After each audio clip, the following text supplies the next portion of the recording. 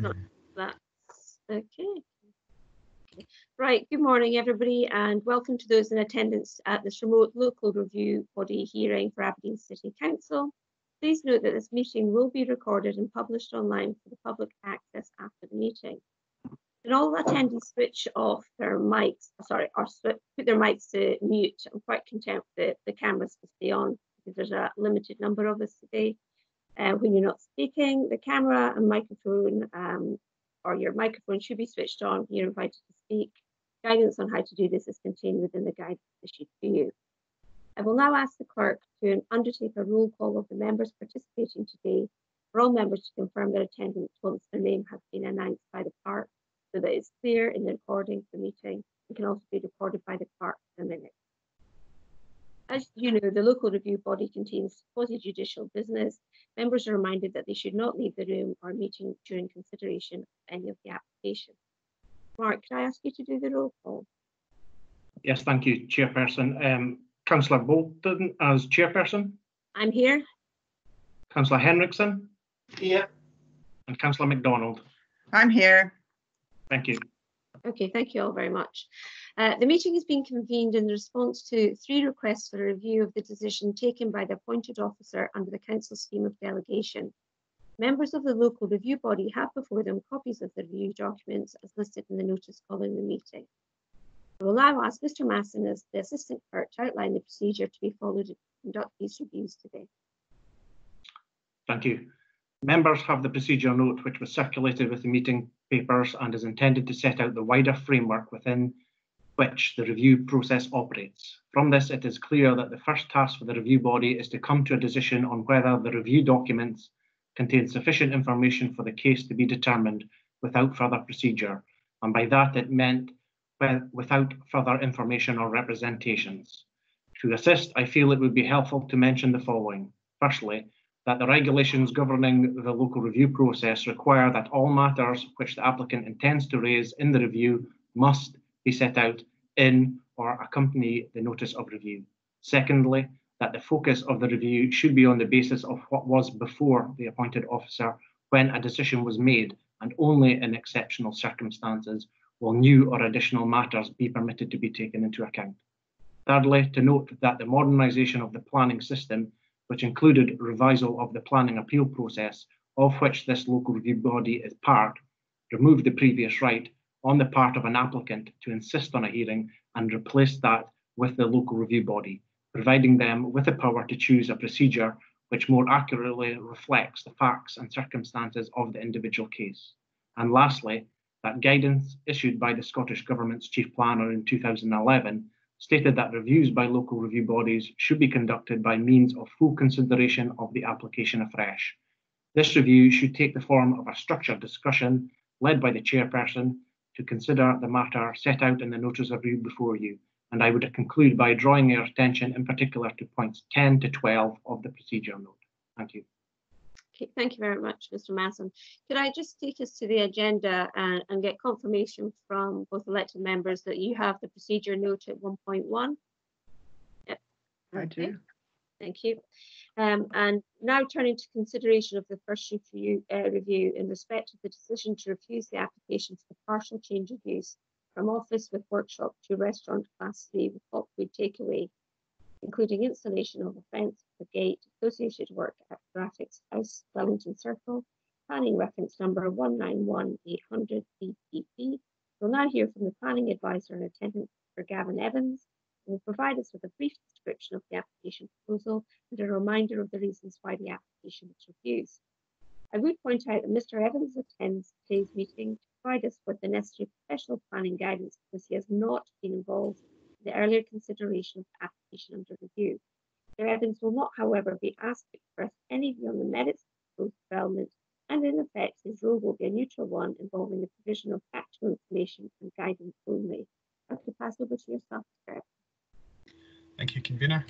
Um, we'll just take a second to get the uh, presentation up here.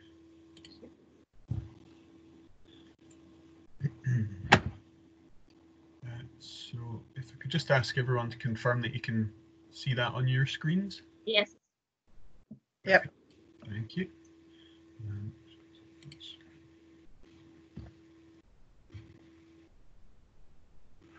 Okay, so thank you, convener. Um, so as you said, before us today, we have a request for review um, against a delegated refusal for detailed planning permission for the partial change of use from office with workshop to class three restaurant with hot food takeaway, including the installation of a fence with gate and associated other works at Graphics House, Wellington Circle, Aberdeen. Uh, the review was found to have been submitted um, with all the necessary information and within the time limit of three months following the decision of the appointed officer. Uh, there were no new matters raised based on the, the submissions in the, uh, in the of review, and the applicant has intimated that they don't consider any further procedure is required in this case, and that the LRB may proceed on the basis of these written submissions alone. Um, so just flicking through, um, give you a brief description of the site. Uh, site's located on the southern side of Wellington Circle, um, immediately opposite the car park that serves IKEA, um, Pure Gym, and um, Starbucks. Excuse me, as well as Makro. Sorry. Um, uh, the Starbucks drive-through sits within that car park, um, just directly opposite.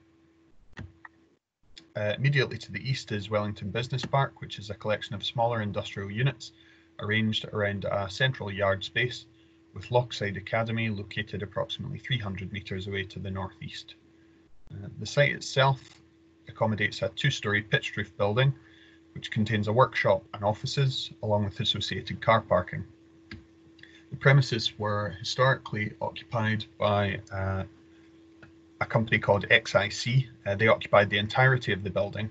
Um, they're a commercial graphic design and printing company However, it's understood from the applicant's submissions that XIC's demands for space have reduced over time, leading to part of the building being let out to others and a further area being unsuccessfully marketed for let since May 2019, with no viewings during that period. Uh, the applicant's statement in support of their application also highlights that the reception area at the front of the building is now redundant, with limited prospect of rental for business and industrial use due to limited floor space. Um, so just flicking through, that's the, the application site outlined in red here. And this is a, a street view image to give you an indication of the, the scale of the building. I'm not sure, can you see my cursor or is it just yeah. the dot? You yeah, can. You can. It's It's good. Um, so yeah, that's the that's the building that we're talking about here. Uh, access off Wellington Circle and car parking immediately to the front. Um, the site lies in an area that's zoned for principally business and industrial uses, where policy B1 of the local development plan applies. The land to the north, which includes IKEA, Makro, Pure Gym and Starbucks, is also zoned under policy B1, but is also included as an opportunity site designation in the local development plan, which identifies potential for a change of use to class one retail uses. Um, come back to that slide in a moment.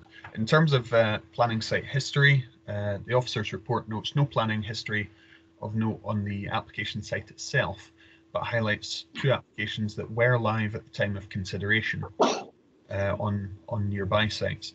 These were uh, referenced 1915-88, uh, sought planning permission for the erection of two retail units directly opposite the site. Probably best if I show you this on the aerial view. Um, directly opposite the site, just in the in the area in here. Um, sorry, yeah, between Starbucks and IKEA. Uh, that application was subsequently refused in March of this year. Um, the refusal was not based on a conflict with the zoning policy. Um, it recognised the retail opportunity site designation um, and the refusal was based on design and visual impact grounds along with the loss of landscaped area uh, that's existing. Um, secondly, there was another application that was live at the time of the officer's decision. It was for the erection of a restaurant and drive-through in a central portion of the car park, serving IKEA, Makro and Pure Gym. Uh, that was approved in 2020, um, consistent with the retail opportunity identified in OP 110. Um, it's worth noting that the, the refused application down here is still within its appeal period. So um, because that was a delegated decision, that could still come before the LRB. Um, so moving on to the proposal itself. Uh, these plans tend to have existing on one side and proposed on the other. Um, I'll just talk through those. Uh, so the application seeks detailed planning permission for a partial change of use uh, concerning, concerning the northern part of the ground floor of the building to allow for its use as a restaurant within class 3 uh, and as a hot food takeaway which isn't within any particular class as well as minor associated external works. Um, you'll note from the site plan there, members, that the uh, physical changes are modest. Um, those include the addition of motorcycle and cycle parking just to the to the front of the building there, um, an external bin store to the rear, uh, and the demarcation of six dedicated parking spaces to serve the development. That's just shown over on this side of the site. Uh, ground floor plan, uh, sorry, that's just a zoomed in version of the uh, of the proposed site plan. Uh, so that's the existing ground floor plan. And as proposed, so this is this front portion of the building that we're talking about. Uh, so the ground floor plan shows 26 covers along with the servery, kitchen and store spaces. Um, whilst there are adverts and signage shown on the elevations, advertisements are covered by separate regulations, so these aren't within the scope of the application today um, and may need a separate grant of consent depending on the specification. Uh, so as I mentioned, the, the scale of changes is very minimal um, aesthetically. Um, really, we're just looking at the uh, the bin enclosure to one side of the building there, and that's the, the sort of rear elevation. Um, again, bin store is the only change on that elevation, and enclosed with fencing, and no change whatsoever in that elevation. Um, so in terms of the appointed officer's reason for refusal, uh, they're stated in full within the decision notice and the agenda pack, but the, the main themes coming from that were a failure to comply with policy B1, business and industrial land, in that there's no requirement for this development and there's sufficient provision and range of food and drink establishments within the surrounding area to serve the existing uh, business park's needs. Um, in addition, the development due to its location um, was seen as potentially detracting from the vi viability and vitality of the existing city centre, which would be contrary to the requirements of policies NC4, sequential approach and impact, and NC5, out of centre proposals. in terms of the appellant's case, uh, a statement's been submitted in support of the application for review, uh, again available in the agenda pack. Uh, that submission refers directly to the reasons for refusal and the main points are put forward as follows. Firstly, argues that policies NC4 and NC5 relating to the sequential approach and retail impact um, and assessment of out-of-centre sites are not directly relevant to this proposal because they apply only to significant footfall generating developments and it's contended by the applicants that this proposal is not a significant footfall generating development. Um, points out that policy B1 supports the proposed development as it would serve the immediate business and industrial area rather than a wider catchment. Also, it would bring an empty unit back into use, would enhance the attraction and sustainability of the business area as a whole, and would assist in supporting the applicant's existing business. Um, points out that the proposal is also supported by other local development plan policies as well as Scottish planning policies requirement that due weight be given to the net economic benefits of development. Highlights a lack of objection from consultees and counters the points made by Nigg Community Council in its late submission. And lastly, highlights that the current supply of business and employment land far exceeds the requirements of the Strategic Development Plan. Therefore, change of use away from a business or industrial use would not have any, uh, any adverse consequence.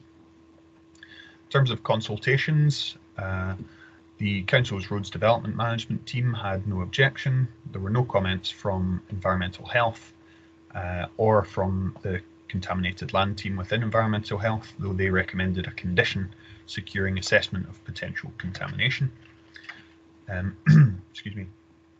Aberdeen International Airport had no concerns on safeguarding grounds, but did recommend an advisory note on the use of cranes during construction um, as we saw, the extent of any construction is likely to be you know, limited to the, the fence enclosing a bin store. So um,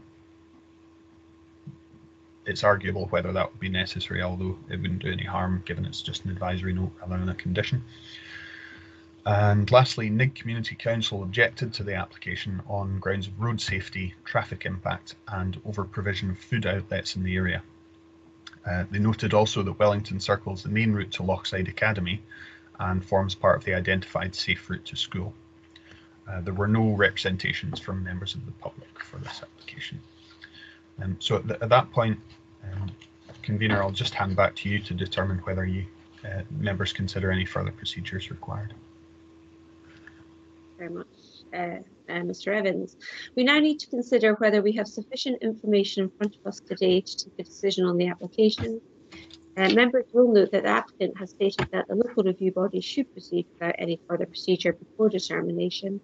Members, remember that if you feel you do not have enough information to take a decision, you can require further written information to be provided hearings to be arranged or a site visit to be undertaken. Um, Councillor MacDonald, are you?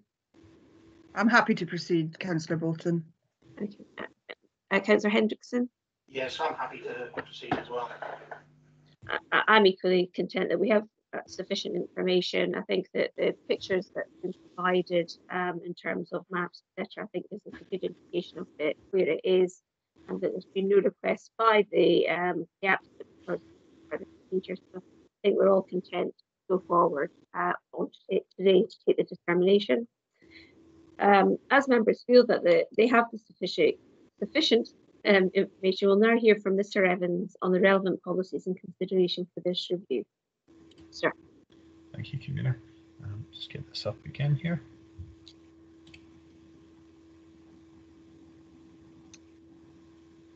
Oh, I think I'm sharing the wrong screen. Is that right? Uh, you've got policy B1 on. Oh, I do. Sorry. Yeah. Thought I'd shared the wrong one. Uh, right. Sorry about that. Uh, so moving on uh, to the relevant policy considerations. Um, firstly, the zoning policy for this site is policy B1 relating to business and industrial land.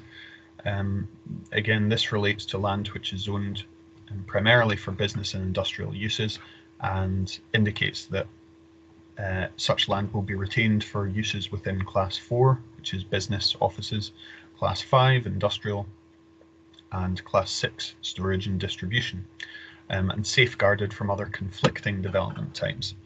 There's a question there about whether members consider this is a conflicting development type. Um, it does allow for other uses which are suitable to business and industrial areas, as well as the expansion of existing businesses.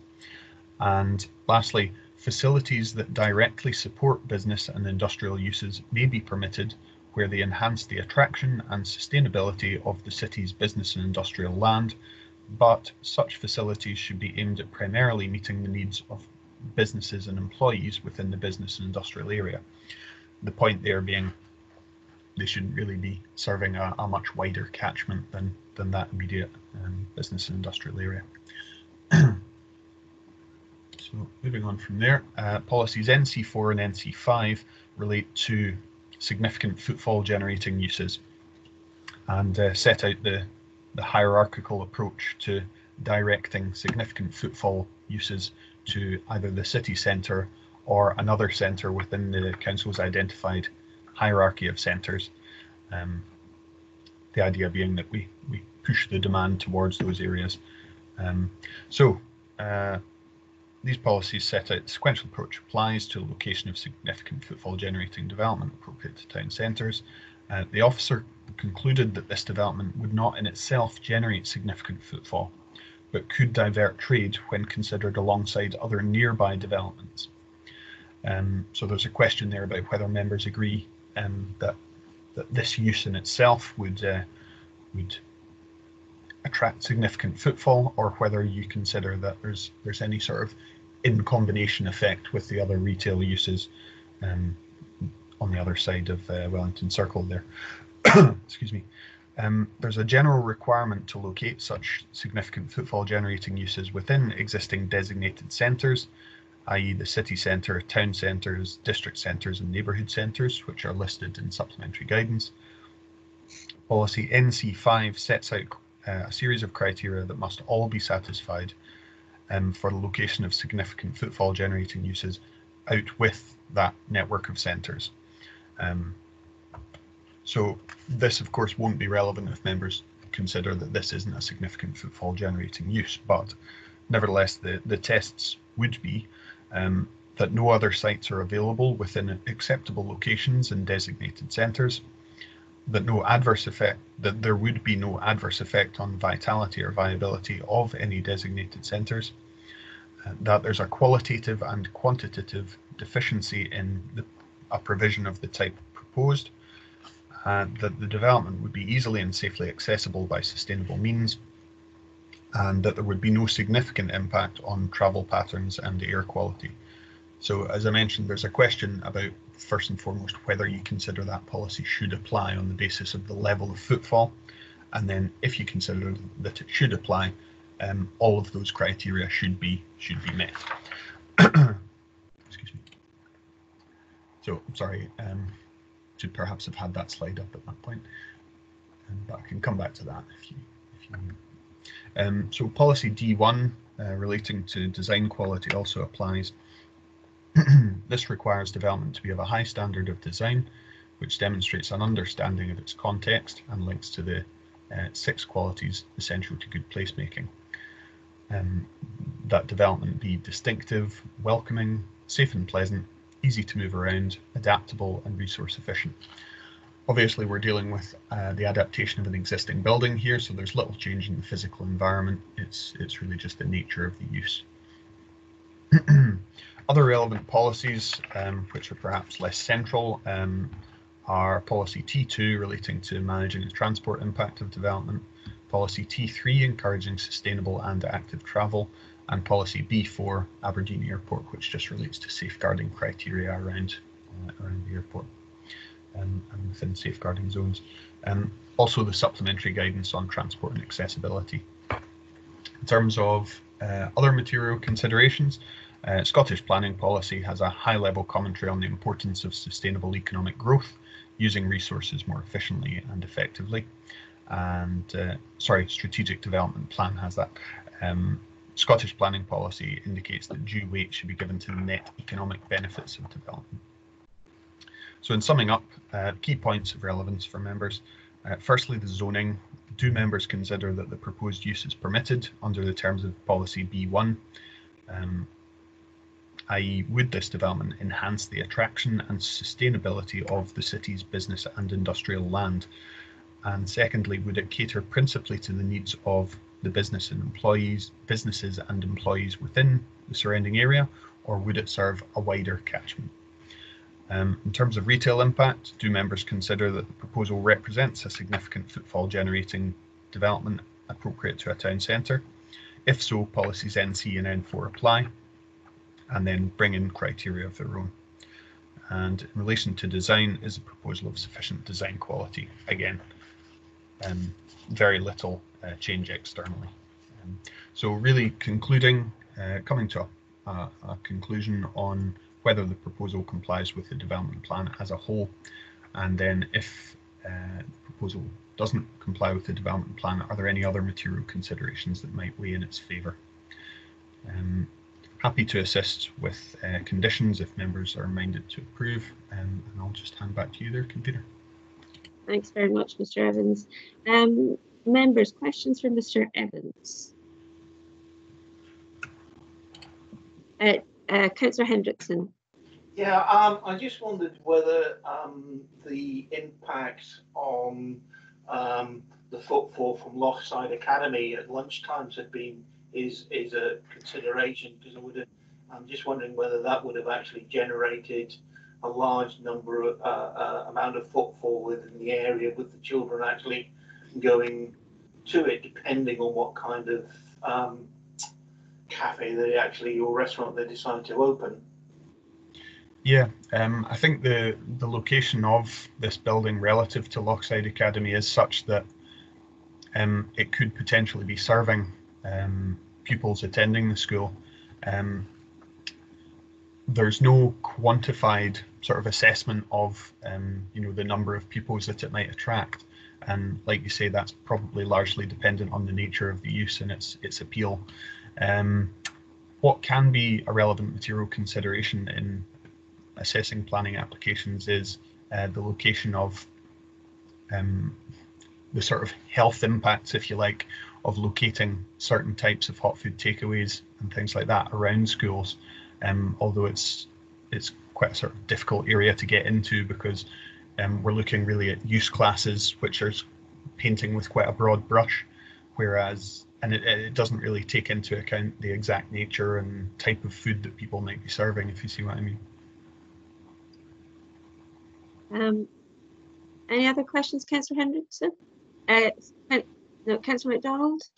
Yeah, I I noted from the papers that there hadn't been any um, decision from the applicant about what type of um, of food outlet might be proposed, and uh, they hadn't secured anyone, I suppose, to um, to, to move in in a way. But um, and just following on from um, Councillor Henrickson's um, question, um, when in any planning um, application does that become a material consideration? Because it is it is something that that did exercise me when I was reading through the the the papers.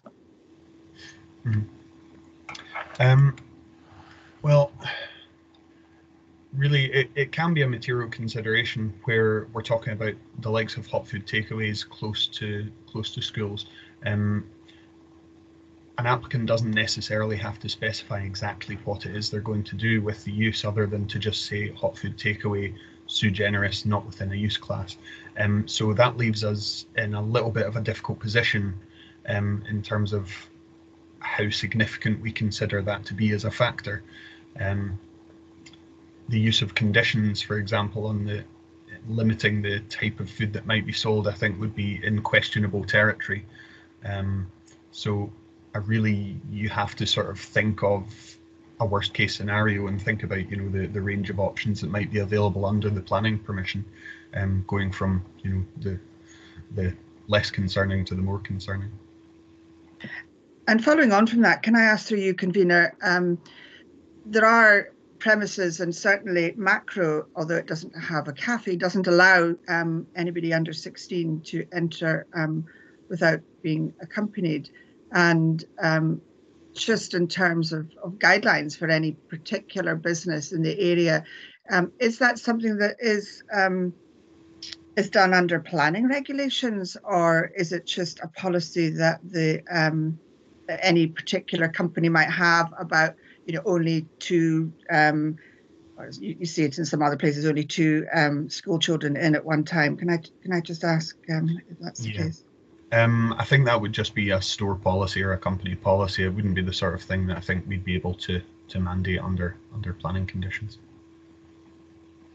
thank you Um, I've got a couple of questions, um, Mr. Evans. In terms of, um, obviously, the the community council raised concerns over road safety and the fact that it was a safe route to school um, route.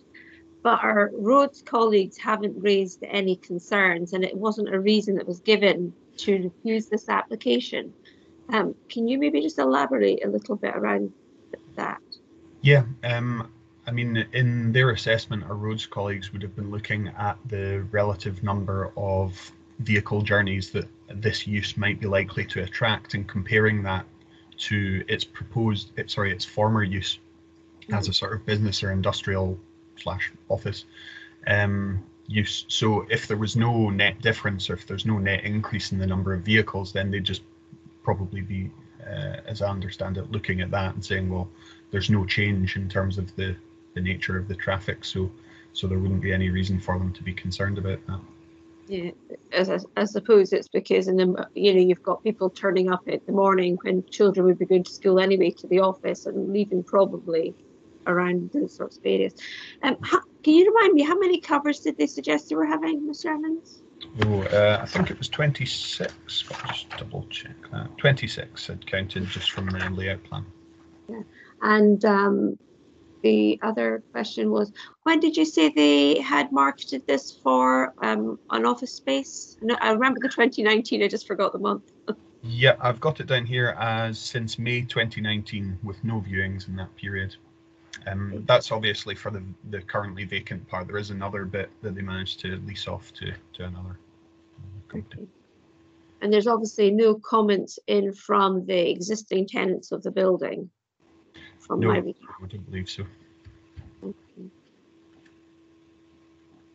Can Um, I ask through you, convener, um, just just a thought. Were there any timings suggested for the opening um, of the the restaurant and hot food takeaway? I, I can't remember seeing in the.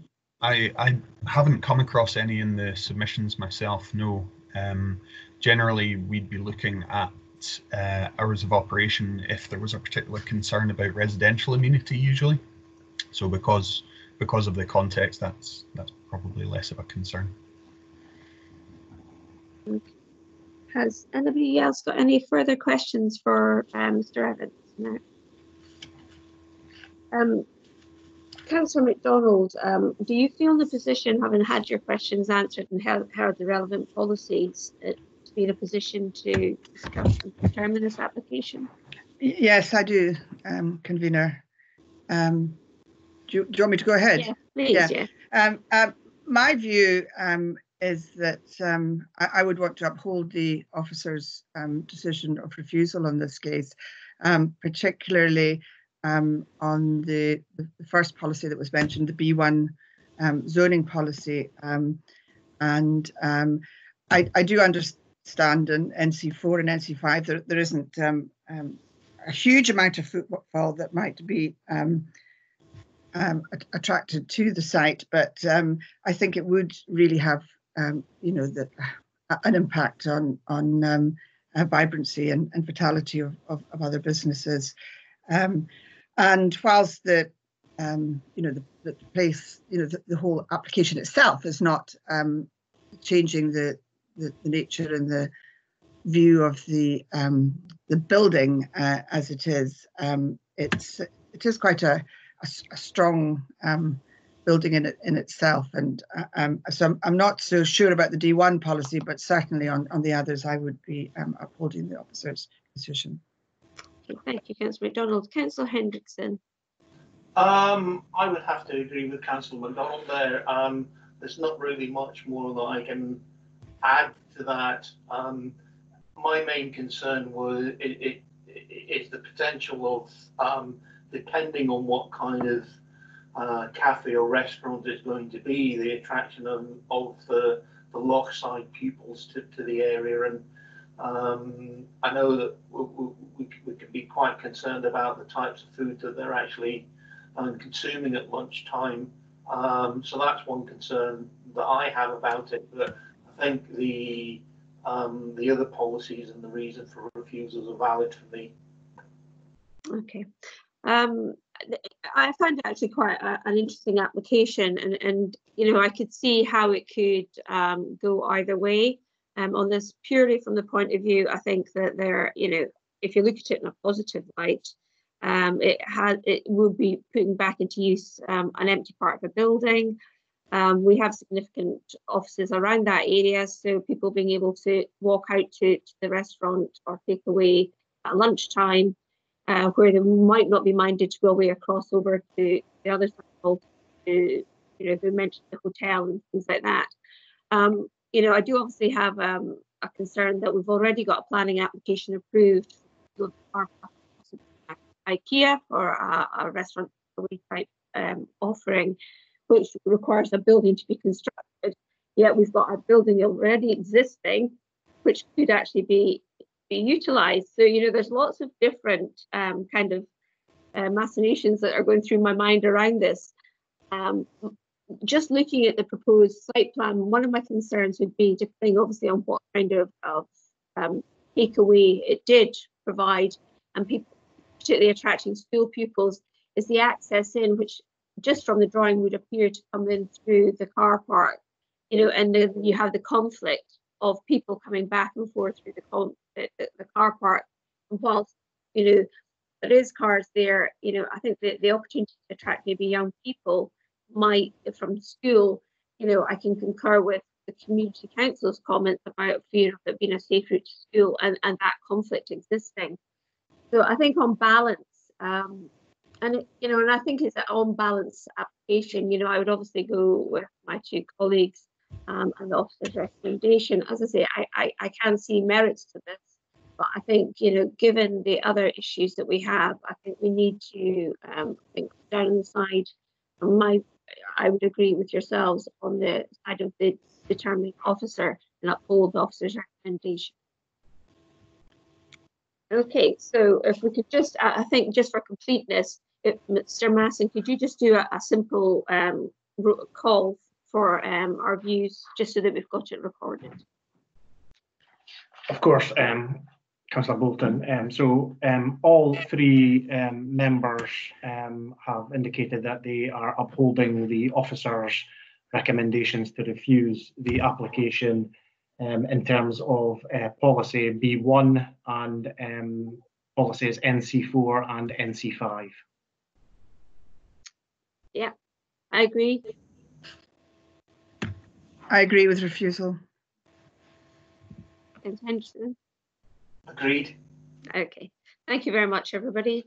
If we could now turn to consideration of the second review in respect of the decision to refuse the application for the erection of a two-storey extension, including first floor terrace with carport um, below, installation of a replacement garage to the rear, formation of a new window opening to the rear gable, installation of a replacement window at upper floor, alterations to the boundary wall and landscaping fronts in front in the front curtilage, get this right, to create a garden area and parking space at 16 to 18 Fountain Hall Road. Planning reference number 191169 DPP.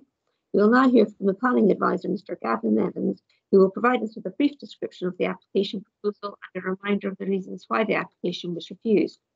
I would again point out that Mr. Evans attends today's meeting to provide us with the necessary professional planning guidance because he has not been involved in the earlier consideration of the application under review. Mr. Evans will not, however, be asked to express any view on the merits of the proposed development, and in fact, his role will be a neutral one involving the provision of practical information and guidance only. Mr. Evans. Thank you, Convener. Uh, again, just get the presentation up here. Okay, everyone see that okay? Yes, thank you.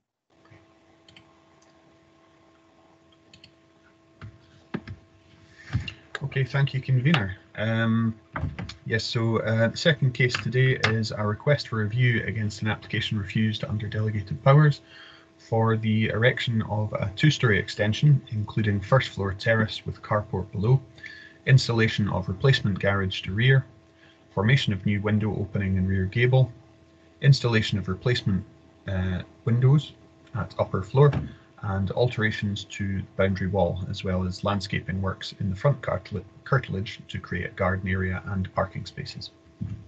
And all of that's happening at, or proposed to happen at 16 to 18 Fountain Hall Road, Aberdeen. Uh, again, this review was found to have been submitted uh, with all necessary information and within the time limit of three months from the appointed officer's decision. Uh, the applicant has indicated on the notice of review that new matters have been raised in the review submissions, uh, these are four letters of support from the local ward members who would previously have been, um, well, the, the, the, argument put forward is that they would have been previously prevented from expressing support um, at the time of the application, as this may have precluded them from participating in the decision-making process. Um, we also have uh, some additional color visualizations. However, it's understood that those were provided at the time of the application and just not uploaded to the website. So we're happy to accept those. Um, at this point, I'll just ask our legal advisor, Lisa Christie, to offer some guidance on the tests that apply to the introduction of new matters in the review process. I could ask you to um, jump in there, Lisa. Yes, uh-huh. Um, Yes, convener. Um, under Section 43B of the Town and Country Planning Scotland Act 1997 as amended, a party to proceedings is not to raise any matter which is not before the appointed person at the time the determination was reviewed. Um, the determination review was made unless that party can determine A, that the matter could not have been raised before that time, or B, that it is that, eh, that it's not being raised before that time was a consequence of exceptional circumstances.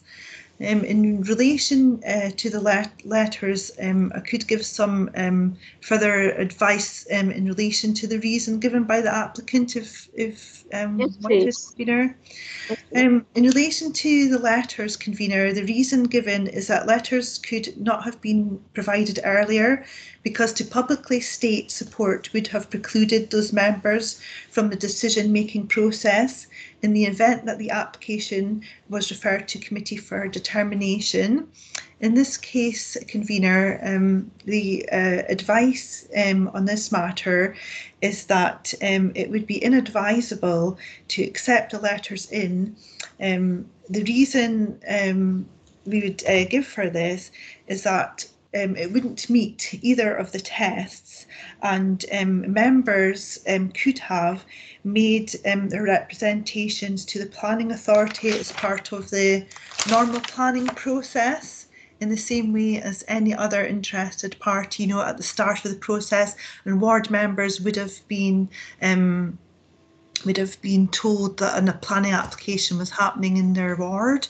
Um, so as this was a local application, those who had um, made representations would have never um, been asked to decide on it anyway, um, because in an um, because ward members don't, you know, participate in LRB appeals in their ward, and the proper way would have uh, been for um, members to put in their representations at the start um, as part of the planning process, and um, given that they would have been notified. So the advice is that um, don't uh, that um, the let, letting letters in um, would not meet the two tests. Thank you very much, um, Lisa. I mean, I, I would concur. I feel that um, as elected members, we have to make decisions on where we want to support things, which could preclude us from taking part in decisions. Um, and we, we face that on a regular basis. Um, and I think that uh, they, they have made a choice um, not have made representations earlier on. Um, and I think that it would jeopardise any decision we made to accept it if the stage should make that agreement that we won't accept those. We'll obviously just the, the drawings had already been provided, but just hadn't been loaded up to this. I think it's get approved. Okay. Thank you, convener. Thank you. Um, so I'll just get this presentation back up on screen.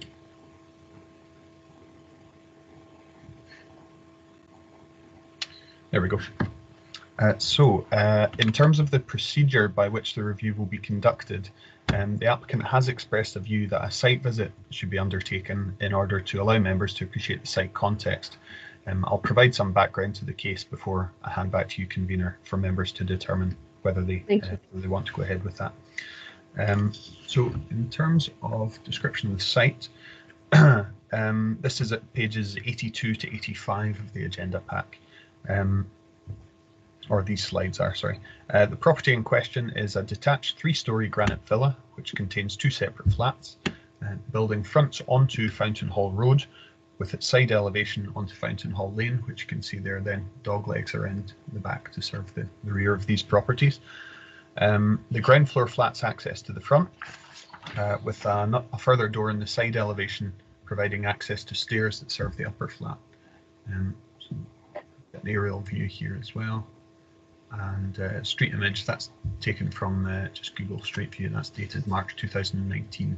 Um, so you can just see the, the door to the upper flat there. So that goes straight into some stairs. Uh, on the other side of the uh, the lane, uh, just here, which just out of shot in this image, is uh, Blenheim House, a modern office building. Um, there are three existing garage buildings within the plot. Uh, if I can just flick through here, you can maybe see those better. Uh, so if you can see my cursor on the screen there, um, there's an existing garage just here, uh, another one here, and then one in the corner of the site accessed off the rear lane as well. Um, so as I say, all of those are accessed via Fountain Hall Lane, uh, one directly adjoining the rear of the house, one abutting and sitting parallel to the southern boundary, and the last one sitting in the northeast corner of the site. Uh, the area to the front of the property is laid hard standing. I'll just flip back to the street view image and you can see that for yourself. Um, so yes, the area to the front is laid hard standing and enclosed by hedging, whilst the rear garden is enclosed by a granite rubble wall, which you can just see here running down running down the side of the property. Um, traditional granite lean-to outbuildings are present on the northern boundary, just a shot to the rear of the property there. Um, and the site's located in an area the local development plan identifies as an H1 residential area. Uh, it also lies within the Albyn Place and Rubislaw Conservation Area. In terms of planning history, and just staying on this screen, um, a certificate of lawful development was issued by the Planning Authority in January of this year for works to form hard standing in front garden. Um, so that's the formation of this this hard standing here. Certificate of lawful development or use is essentially uh, a certificate that the planning authority can issue to an applicant confirming that because works were done, for example, so long ago that they're now immune from enforcement action, they are now deemed lawful. Uh, there's various routes to lawfulness, but one of them is that unauthorized works were done more than four years ago, and therefore they can't be enforced against by the planning authority. So that's that's the situation with this hard standing at the front. So uh, was done without planning permission, but is nevertheless now authorised. So there's there's nothing that can be can be done about that. It's as if it has planning permission. Um, so moving on to the proposal and a description of that itself. Um, this is an existing and proposed site plan, so you can see um, the rear extension here in this right hand image as well as the replacement garage, which offers uh, occupies a, a, similar footprint to that which it replaces. um, so detailed planning permission is sought for, oh, sorry, uh, there was a correction that I meant to, to add there, sorry.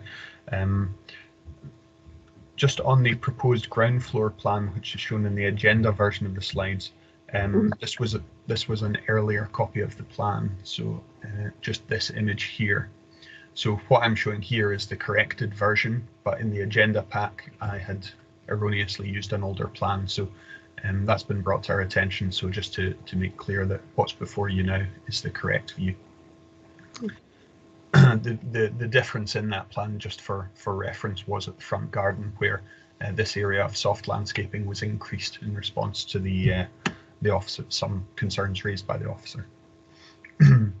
So detailed planning permission sought for the erection of a two-storey extension to the rear, which includes a terrace at first floor level and carport below. Um, both the roof and walls of the extension, if I just flick through here to the elevations perhaps, um, can't see terribly well, perhaps zoom in. Um, so both the roof and walls of the extension would be clad in a natural slate. Um, the plans show a hexagonal sort of slate unit um, with black painted vertical timber cladding on the gable elevation. Uh, that's just here.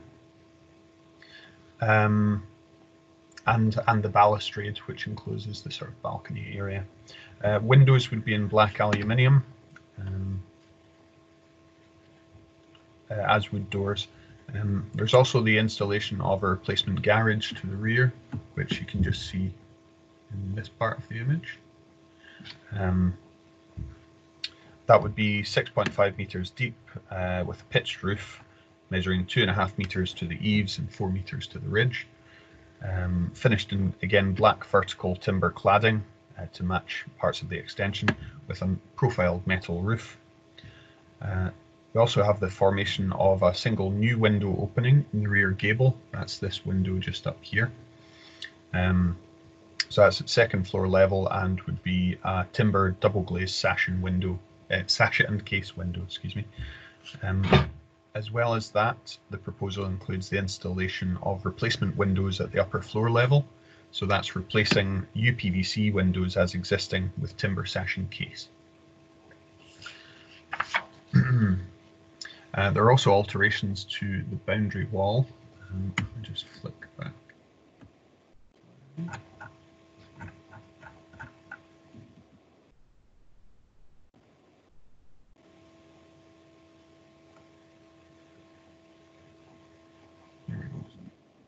Um, so there are alterations to the boundary wall uh, you can see on that lower image there in order to form these uh, these larger gates. Um, There's also reconfiguration of the area to the front of the building to create landscaped garden and parking areas uh, in place of what we'd seen from the, the street view photograph was just entirely hard standing. So um, what you can see here is that an area of soft landscape front garden has been reinstated uh, as well as sort of continuing along, the frontage to to soften and enclose the uh, the off-street car parking. Uh, there's also new railings proposed at the side of the house onto Fountain Hall Lane. Uh, those are black painted metal railings at low level. Um, just flip through again. Sorry to go back and forth on these slides. You make my eyes go funny. uh, so that's that's the area of new railings just being installed there at the side of the property. Uh, the officer's report notes that there was a, a lack of detailed specification, but uh, the principle of those railings being introduced was accepted and notes uh, a view that the specification might readily be conditioned um, in the event that proposal was being supported. Um, so I'll I bounced around a bit there, so I'll perhaps just go back to the start and flick through these um, a little more slowly. so this is the existing and proposed ground floor.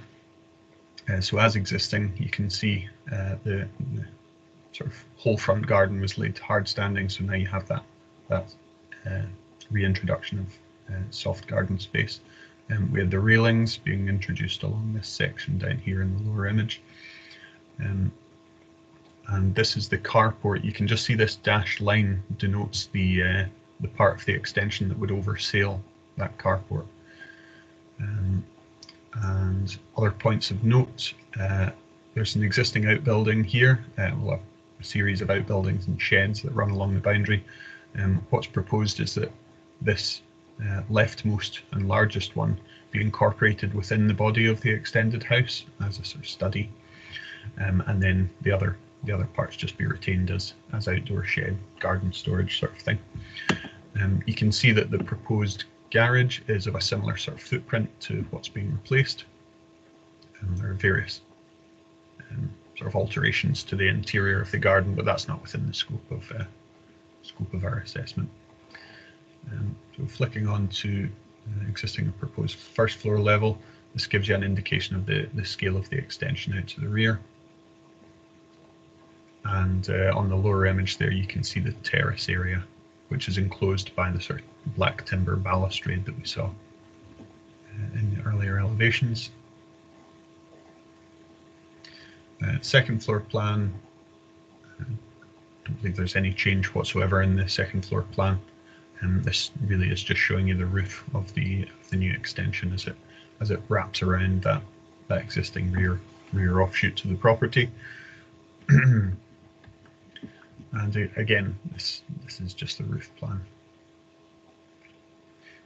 You can see that the orientation of the garage has changed, but there's no there's no particular concern highlighted about that in the officer's report.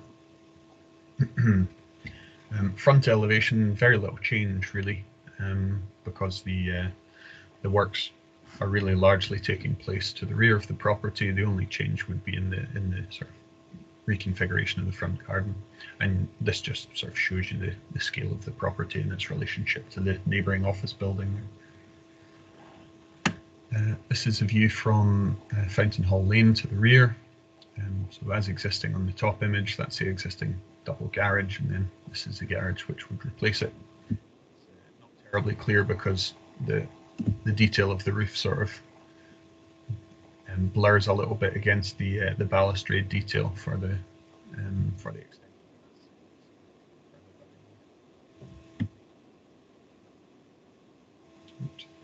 Sorry, through. Uh, so this is the this is the view to the adjoining property, or sorry, the neighbouring property. You can See the extension, and uh, as I mentioned, the uh, the sort of hexagonal slate cladding that's proposed to be used on the uh, on both the roof and on the walls. Um, worth noting as well the the manner in which the extension wraps around this rear offshoot. That seems to have been a, a particular issue of concern in the officer's report. And this is a change from the side elevation just onto Fountain Hall Lane again. So you can see the new timber gates introduced, uh, significantly wider in terms of allowing access uh, to the to the sort of Undercroft carport and the existing opening. Um, the detail of of excuse me uh, making good any opening uh, would be would be something to be considered carefully in the event the members were minded to support, just to make sure that the the opening is built up using appropriate materials, appropriate methodology. So uh, can come back to those um, as needs be. Um, so turning to the reasons for refusal, um, these are stated on page 96 of the agenda pack. Um, main points being the proposed extension was seen as being not suitably, sorry, it was considered that the proposed extension would not suitably respect the scale, form and character of the existing historic building um, that it would therefore have a detrimental impact on the character and amenity of the Albyn Place and Rubislaw Conservation Area. And as a result, the proposed, or sorry, the proposed development would be at odds with policy H1 residential areas, policy D1 quality placemaking by design, and policy D4 historic environment of the local development plan, as well as the relevant sections of Scottish planning policy and historic environment policy for Scotland, um, in addition to Historic Environment Scotland's guidance, uh, managing change guidance. Um, the scale of hard surface landscaping, including car parking in the front curtilage, was seen as being to the detriment of the character of Fountain Hall Road, um, especially the area between Fountain Hall Lane and Desswood Place. It was therefore seen as being detrimental to the character and amenity of the Albyn Place and Rubislaw Conservation Area, placing the proposal at odds with the aims of policy D4 uh, relating to the historic environment. It's worth noting uh, the point I made earlier about that area to the frontage having now been subject to a certificate of lawful existing use. Um, so previously the appointed officer's assessment was based on that having been unauthorized work and you know looking to secure the best possible outcome we're now in a position where the LRB is looking at that as an authorized situation. So what's proposed may be seen as being a betterment in relative terms. In terms of the appellant's case uh, this was set in the notice of review along with a statement accompanying appendices. Um, we've already covered the, the letters of support from, from board members, so I won't, won't revisit that. Uh, the following central points were made in the supporting statement. Uh, firstly, uh, just reiterating that the hard standing to the front was is now authorised and is therefore no longer a valid reason for refusal. Noted that the appointed officer's report didn't take issue with the replacement garage. Uh, noted that the proposal did not represent overdevelopment of the site in, in his report and concluded that the residential amenity of neighbouring properties would not be jeopardised. So really just drawing attention to the areas of the proposal that the appointed officer was satisfied with. Uh, noted the lack of objection from any neighbours or statutory consultees and uh, drew attention to support from local members. Contended that the proposal complies with policy H1 of local development plan and the council's supplementary guidance um, relating to extensions contends that the manner in which the rear extension wraps around the corner of the historic rear offshoot is in keeping with other end terrace properties in the street and in the surrounding area. Uh, notes also that the conservation area character appraisal and management plan for this area does not identify detached outbuildings as making a significant contribution to the character of the conservation area, but this proposal would facilitate positive change in the historic environment by giving up and uh, giving a new use to those. So if I just flick back, uh, what that's referring to is the outbuilding here that I mentioned before. So it seems that there was some concern from the appointed officer in their report that what had historically been an outbuilding was now being incorporated into the fabric of the of the main house. Um, uh, lastly, in terms of uh, the sporting statement, uh, the appellants also noted that the proposal would utilise materials that are appropriate to the building and its setting, resulting in a high quality contemporary extension that enhances the conservation area and complies with the development plan. uh, in terms of consultations, the Council's Roads Development Management team noted that there would be an adequate level of car parking provided, uh, but the applicant had not demonstrated that proposed car parking facilities meet the minimum technical parking standards, so really just referring to the minimum dimensions. Uh, the applicants have, in the review submissions, added those dimensions to the plan. Um, I, I wouldn't consider that represents uh, a sort of material new addition to the plan because the proposal remains unchanged. It's just adding the adding the dimension. Um, the local Queen's Cross and Harlaw Community Council provided no response in relation to the proposal, and there were no representations made in relation to this application. Um, at that point, convener, um, I would just hand back over to you in terms of uh, what procedure may be necessary from here. Okay, thank you. um, Councillor MacDonald, do you feel you have sufficient information to be able to make a determination today?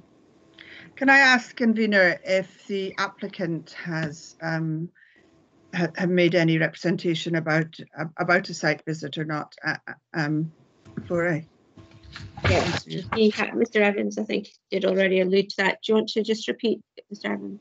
Uh, yes, that's right. Um, the applicant has expressed a view that they think a site visit would be beneficial, so uh, that's that's what they'd be looking for.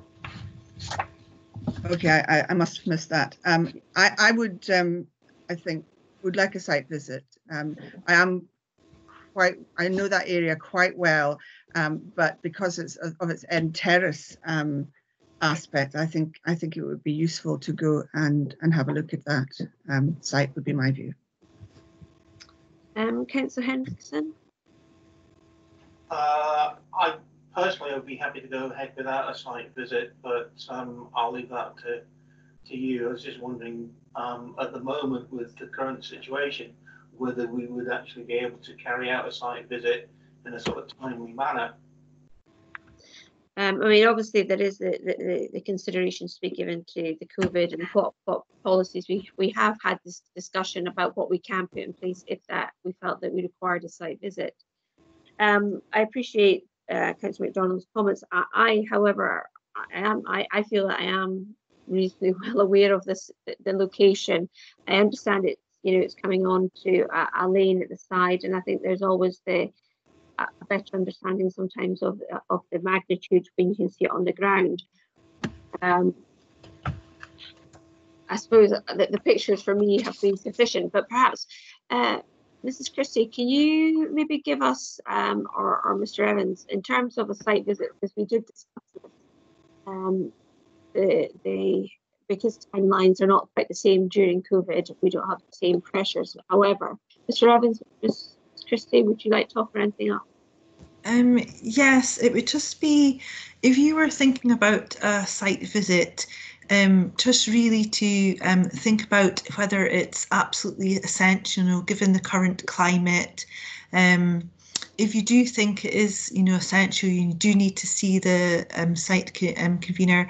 Um, planning would probably have to have done a, a, risk assessment on how it could really be done safely, and there would be practical things to think about. So, for example, members would arrive, you know, in separate vehicles and we would all have to keep our um, distance from each other, just in the you know um, as in relation to government gui guidelines.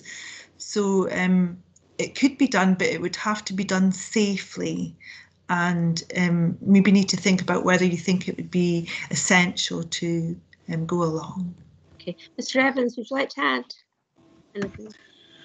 Um, nothing, nothing big to add really. I, th I, think I was just going to mention, you know, need to arrive separately and uh, maintain social distancing while we're while we're on site because it's, um, you know, dog-legged by a rear lane. Perhaps it's it's a little bit easier than it might otherwise be, um, to get a feeling for the the effect of the extension to the rear. So, it could be that members felt comfortable carrying out that site visit without entering the premises, um, which would you know arguably make things a lot more a lot more straightforward if, if we could do that just from the lane um, if you considered it to be necessary. So just something to bear in mind. Yeah.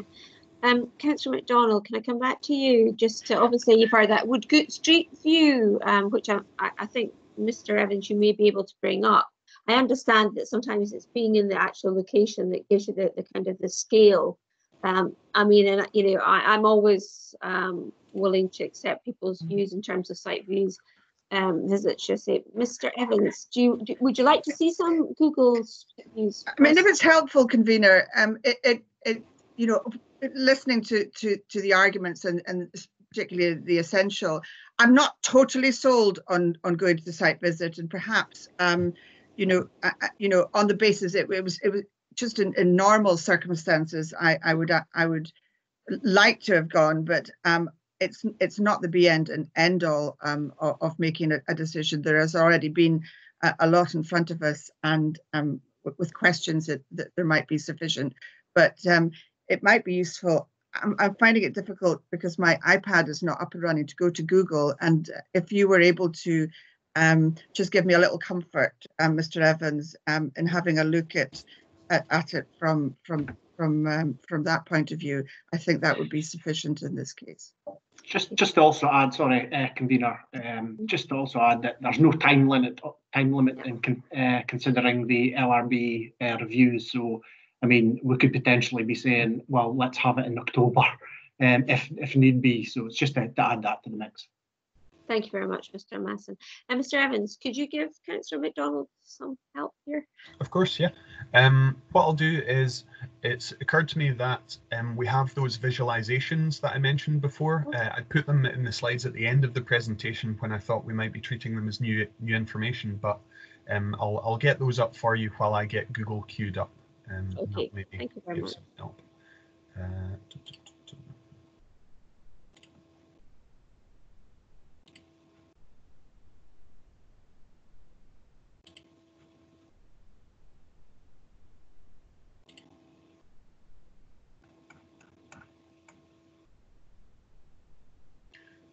So uh, yeah, the first image here um, is just sort of showing the, the massing as existing on the top image in blue and as proposed in the bottom image in red.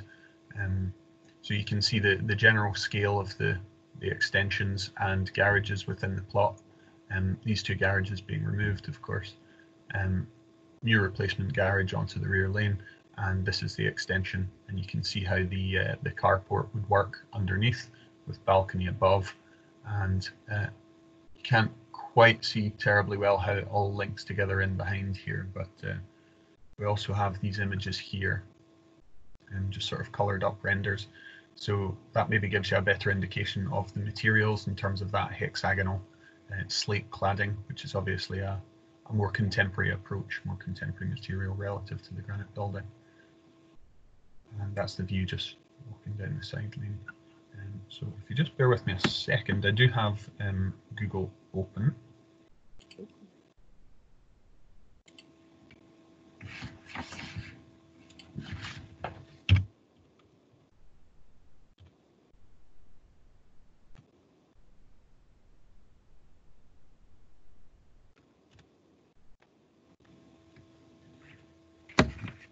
Just while Gavin's uh, looking into that, it's just um, in terms of the process, members have to be crystal clear in terms of whether they've got enough information before them.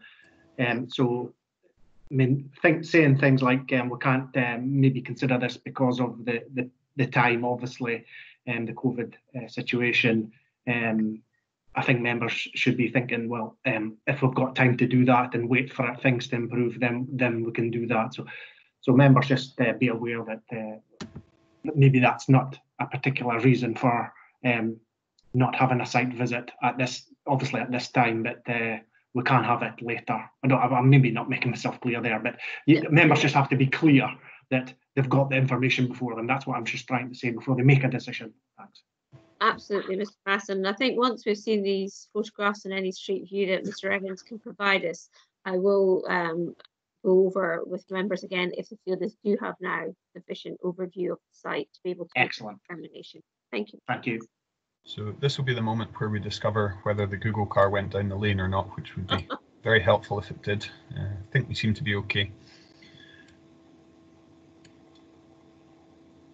So there we have the, the two existing garage doors, both of which would be removed. Um, we'd have railings along this uh, this section just to the side of the side of the uh, door to the upper flat, and then uh, new gates formed in to the undercroft to the uh, the carport area. Probably best to go down to the bottom and then turn. I'm glad you're working this, Mr. Evans, and not me. Expert hands. Yeah. Um, so you can see that the, the garage buildings themselves are of, of little sort of architectural merit, just being sort of profiled sheeting, um, sort of low rise, flat roof sort of things. Um, these are the more sort of traditional, robustly built sort of granite outhouses, and there's a little sort of uh, detailed corner one, which is slightly larger there.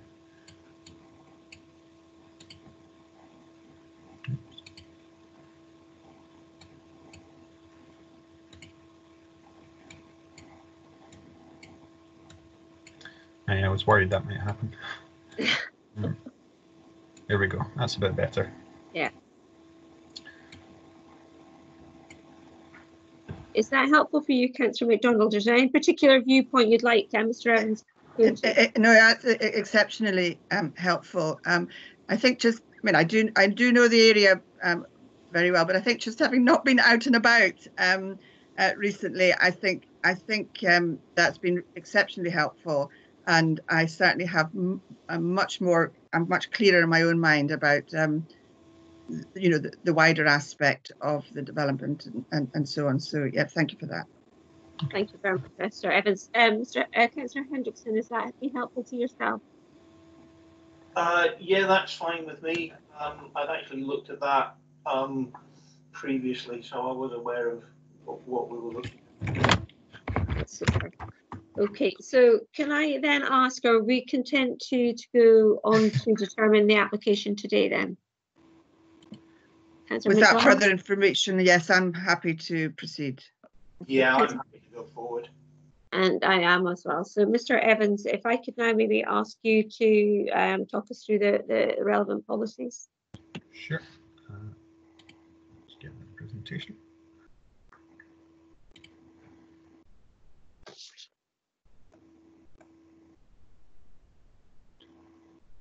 Sorry, just then before Gavin starts, uh, Councillor Henrickson, you've uh, raised your hand um, and, uh, in terms of just a, just to, to, remind you to take it back down again.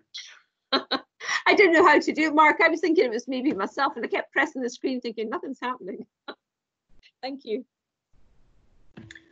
Okay, uh, so in terms of uh, relevant policies from a local development plan, uh, the application's in a residential area and it's zoned accordingly uh, under policy H1.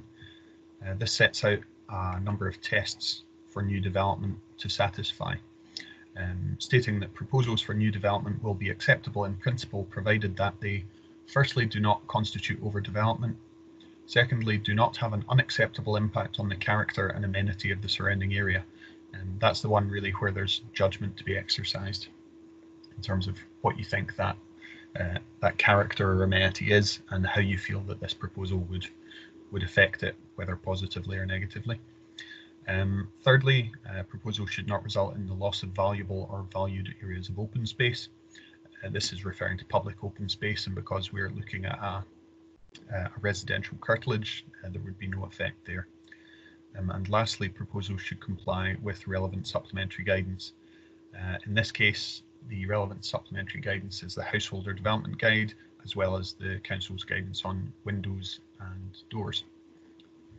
Um, moving on, uh, policy D1 uh, is a sort of universal policy applying to, to all developments and um, requiring that developments are of a high standard of design which demonstrates an understanding of its context um, and, and linking to the six essential qualities of good placemaking just listed there. Uh, again, because we're within a single residential curtilage, um, you know, some of those will be more relevant than others. um, policy D4 relates to the historic environment, um, most notably listed buildings and conservation areas. Uh, this property is not listed, but it is located within the Albyn Place and Rubislaw uh, conservation area. And so policy D4 states that the City Council will protect, preserve and enhance the historic environment in line with national and local policy and guidance, and also offers support for high quality design which respects the character, appearance and setting of our historic environment and protects the special architectural and historic interest of listed buildings and conservation areas. So again, a matter of judgment there in terms of how you feel this proposal would interact with its historic surroundings and to what extent it would uh, would it would harm or enhance the character uh, and appearance of the conservation area. So on to supplementary guidance. Uh, as I mentioned, the householder supplementary guidance is, is central. Um, this sets out a series of general principles for uh, extensions. Uh, firstly, that those should be architecturally compatible in design and scale with the original house and surrounding area. Um, just on that point, I would highlight that compatible doesn't necessarily mean uh, entirely matching in materials. You know, members could consider that something is compatible whilst being contemporary, but uh, it's it's a matter of judgment again. Uh, extensions should not dominate or overwhelm an original house and should remain visually subservient. Uh, in this case, on the street view image, we saw that the the existing sort of um, lean-to style extension is is just on a single story off the rear protrusion. So what's proposed would introduce uh, a two-story extension there. It's a question of how how subservient you consider that would be. Uh, no extension should result in a situation where amenity or neighbouring properties would be adversely affected in terms of privacy, daylight and general amenity. In the officer's report, um, that wasn't an issue of any particular concern. Uh, earlier developments approved before this guidance was introduced will not be accepted as justification in support of proposals that otherwise fail to comply with these criteria. And the footprint of a dwelling as extended should not exceed twice that of the original house. And that wouldn't apply in this case because the uh, the footprint of the original property is is quite significant and the extension comes uh, comes nowhere close to doubling that. Uh, no more than 50% of the front or rear curtilage may be covered by development um, in terms of the front curtilage, we saw before that there would be an improvement um, through the reconfiguration of um, that garden and reintroduction of soft landscaping um, in place of what's currently just uh, exclusively hard standing. Uh, and the size and the size of extension, excuse me, permissible and detached properties will be determined on a case by case basis. Uh, moving on also to the relevant supplementary guidance on Windows. Uh, the repair and um, sorry, it's, it's repair and repairing and retaining, excuse me, historic windows will always be promoted over the replacement of windows. Uh, Non-traditional windows should always be restored to a traditional style appropriate to the age and character of the building. Um, as we heard before, the, the upper level windows um, are currently UPVC, so seem to have been altered in a, a, less sympathetic way at some point in the past, and the applicant's proposing to replace those with timber sash case frames that um, are of the type normally sought for a property of this style. Uh, if non-historic windows on the public elevation within a conservation area are to be replaced, the reinstatement of original types and arrangements of windows will always be encouraged. Uh, and where existing UPVC sash case windows are to be replaced, replacement with UPVC sash case may be permitted subject to criteria. Um, so in that sense, there is there is a clear betterment in terms of what's going and what's being introduced.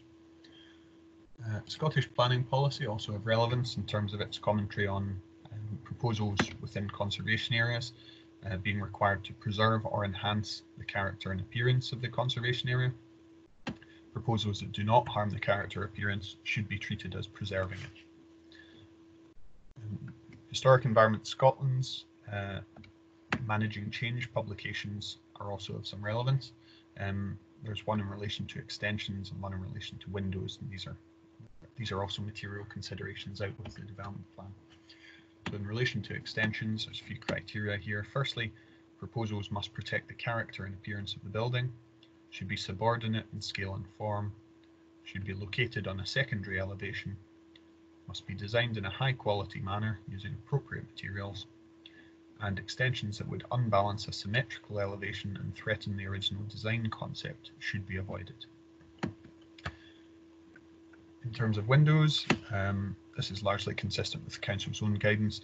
Um, maintenance and repair is always preferred. Uh, where a window is beyond repair, its replacement should be permitted. Uh, in this case, we're obviously talking about replacing a non-traditional UPVC window, so uh, less relevant there. Um, talks about circumstances for replacing sash windows, uh, that's, that's not relevant. And in other cases, windows may be modern replacements, sometimes inexact copies of original examples, or using inappropriate sections or materials. Um, and in those circumstances, it should be acceptable to replace windows with an aim to regain the original design intention or improve the existing situation. So I think in, in this sense, there is there is a degree of improving the existing situation. Uh, so um, just points to consider. Firstly, does the proposal satisfy the test set out by policy H1? Would it have an unacceptable impact on the character and amenity of the area? Does it comply with the relevant supplementary guidance contained in the Householder Development Guide? And in design terms, is the proposal of sufficient design quality to meet the requirements of policy D1? Um, you also have the, the other material considerations provided by Historic Environment Scotland's publications, um, which gives sort of best practice guidance. Um, again, happy to happy to assist with conditions if members are minded to approve. And I'll just hand over to you there, Convener. Thank you very much, Mr Evans. Um, I'll go, Councillor Henrickson, have you got questions for Mr Evans? Yes, I have. I, I seem to remember reading through the papers that if the, let's see if I can explain this, the, the extension out the back had fallen within the um, gable end of, of, of the existing bit that, that, that sticks out, that would have been more acceptable. Is the problem the fact that it actually wraps around um, the building? Um, is that the main issue? That certainly seems to seems to be one of the main concerns coming through from the officer's report. Yes, uh, I think the the original plan form of a building is generally quite important in historic um, environments. So what you're looking to do is try and retain some sense of what is the original plan form and what and to ensure that any new addition is sort of readily distinguishable, if you see what I mean. So adding something that wraps around or envelops or conceals an entire elevation is generally something that's um, less desirable. Um, so that seems to have been a central point for the officer. Yeah, I've got a follow-on question from that convener. So the, the I'm, I'm, I'm, trying to phrase this. So the fact that the, the wraparound bit wouldn't actually be visible looking at the plans from um, almost um, any viewpoint, um, is that sort of something that we would take into account? Because looking at the plans, it doesn't appear, and from the ground views that we've been given, it doesn't look as if that wraparound is particularly visible from almost um, any point of view. Yeah, the uh, the position of that, um, I think it's fair to say, means that it wouldn't be as readily visible as it might otherwise be. Um, so that is relevant in terms of your assessment of how visually intrusive it might be. In terms of the sort of conservation merits, that's less concerned, I would say, about whether something is visible or not, because there's a sort of conservation integrity of the building um, and that sort of thing. But so it's I know that's a slightly contradictory answer, but I suppose what I'm saying is it is relevant, but it's not the only factor. So, you know, the conservation side of it would would really look to retain that plan form as much as possible. Uh, Councillor MacDonald. yeah, thank you, convener. Um, I, I, had a sort of similar um, question as Councillor Henrickson. Um, so, but I'll go on to to the the railings that um, are proposed um, and having seen the, the Google, there's there's nothing there at the moment, but there seem to be railings and hedging um, that was um, proposed for that area. Would would that be correct?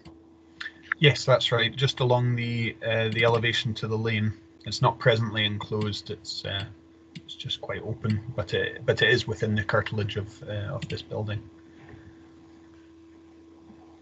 Okay, thanks. Um, and the um, what's my other questions? Or perhaps you could go on, convener, and I'll find just one other one. Uh, Mr. Evans, could I just ask you, in terms of, um, you, you, you mentioned obviously the gates are going to create a wider opening. How much of the rubble wall would be additional would be lost? Um, I'll just have a quick look at the elevation. there. Mhm.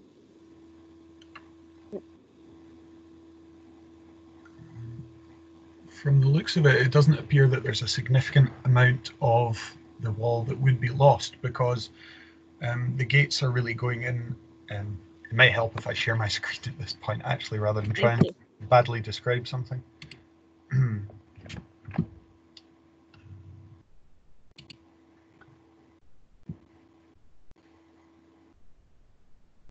Everyone see that okay? Yeah, thank you. So um, what I was getting at is that where the gates are being introduced is really at the point where you have the existing garage that's to be removed. Um, so it's sort of a cleared area where the, the boundary wall isn't present at the moment. So um, it seems like there would be relatively minimal alteration to the wall itself. Can I check as well the pitch of the roof? Because one of the pic- uh, pictures looked almost like it was a flat roof. Can I just ask, is it not a flat roof? Is it the new garage? On the new garage, Yeah, it's a uh, yeah, that's roof. a, that's a pitched ridged roof, yeah. Okay, that's fine. Um, I'll just check and see if I had any other questions.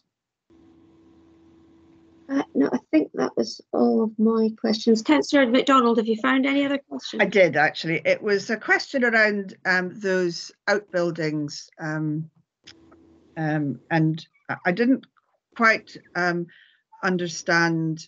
Um, th- those outbuildings seem to be all linked together and just have one door going in at the end now, whereas before there would have been separate doors, presumably for um, maybe separate owners um, on on them, and I just wondered um, what's what significance of, of of that is. I, I just couldn't really work out what was going on.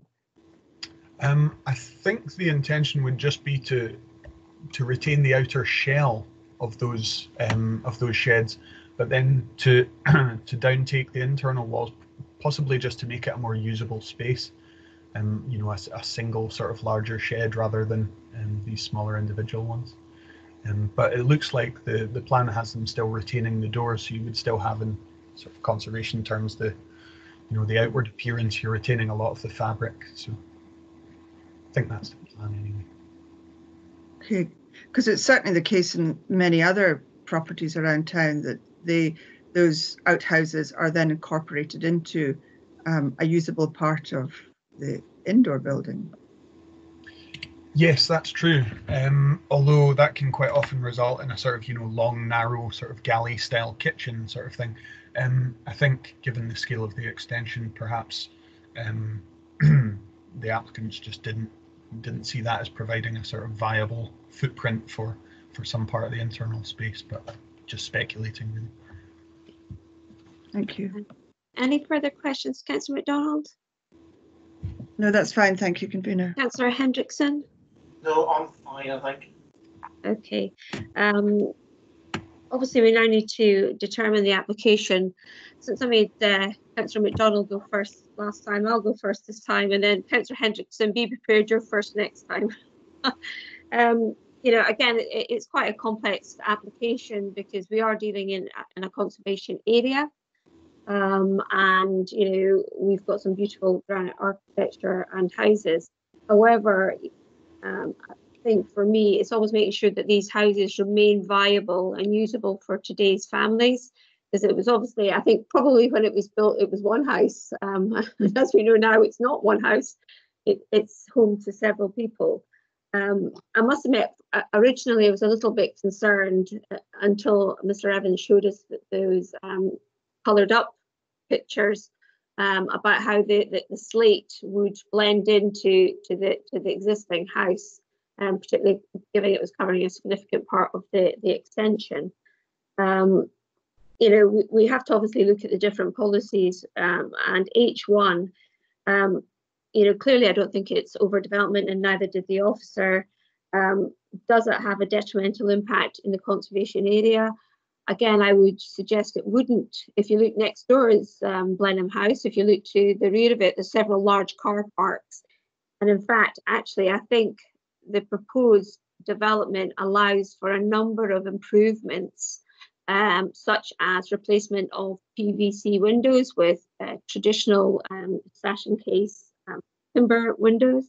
We're going to get some railings back, many of which were removed, obviously, in the, the, the war aid uh, coming back into use. And I think they always add an attractive element in the conservation area. Obviously, I think we would need a condition to make sure they were appropriate and not of a, an inappropriate design. I think the fact that we're actually getting the front garden back into, you know, semi-use um, with with a soft landscaped area rather than just the hard standing, I think again actually will improve the, the conservation area uh, I, I, think the, the existing garage um, and the or garages um, actually are quite of an, eye, an eyesore, to be perfectly honest. I think the integrity of the main building and the side elevation um, to the point of the main part of the house actually is, is kept in, in keeps its integrity. And I think that actually, given that we're not stepping out with the, the actual line and there seems to be a step in from the, the main um, dwelling um, line, I think is very helpful. Yes, it does then wrap around a little bit further than perhaps is, is perfect. Again, a lot of these arguments are around balance. Um, you know, we're making a, a, a house that's fit for purpose. We're reusing a granite house. I think that, you know, if we look at some of the historic um, then or not historic extensions, sorry, extensions to historic buildings in the past, and, and even more recently, they've been quite dramatic in nature to show the differentiation of, of what was and what is an extension um, to that house. So, you know, I, I think actually this is reasonably subtle in comparison to some of the other ones. I think the fact that we haven't had any objection from um, the, the community council, which are who are normally quite uh, forward and, and, making representations if they think there's a detrimental impact to the conservation area. You know, the, the, as I say, I think I think this is an on again another on balance argument, but I think given the the positives that we will get from this application in terms of the replacement of, of windows, the, the, re, the renewal of a, an area which was all hard landscape to land, soft landscaping, the railings, um, and, I think it's considered. I don't think it's it's a huge development, and I think the fact they're keeping the um, the lean-tos, whatever you call them, sheds, um, and whether they use them internally for something slightly different, excuse me, they are retaining them. Um, I think in the round, the development actually is acceptable for myself. Um, and you know, design quality. Excuse me till I take a drink of water. My mouth's going.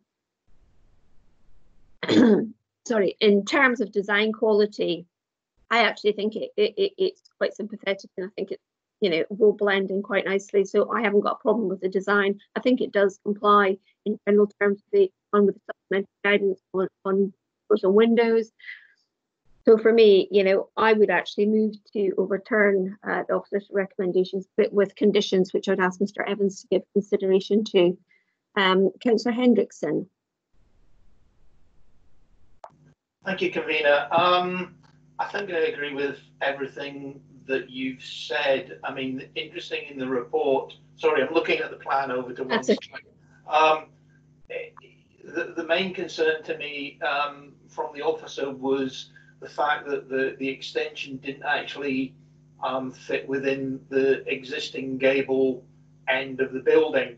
Um, and he was concerned about the wraparound. But having looked at the, the, the, the pictures, particularly the new ones today, uh, I'm not sure that the wraparound, um, although not ideal, um, actually will will um, have a, a, major impact on the, the look of the building. Uh, my only concern, and I think I read this in the report, was um, the fact that some of the materials hadn't been put forward.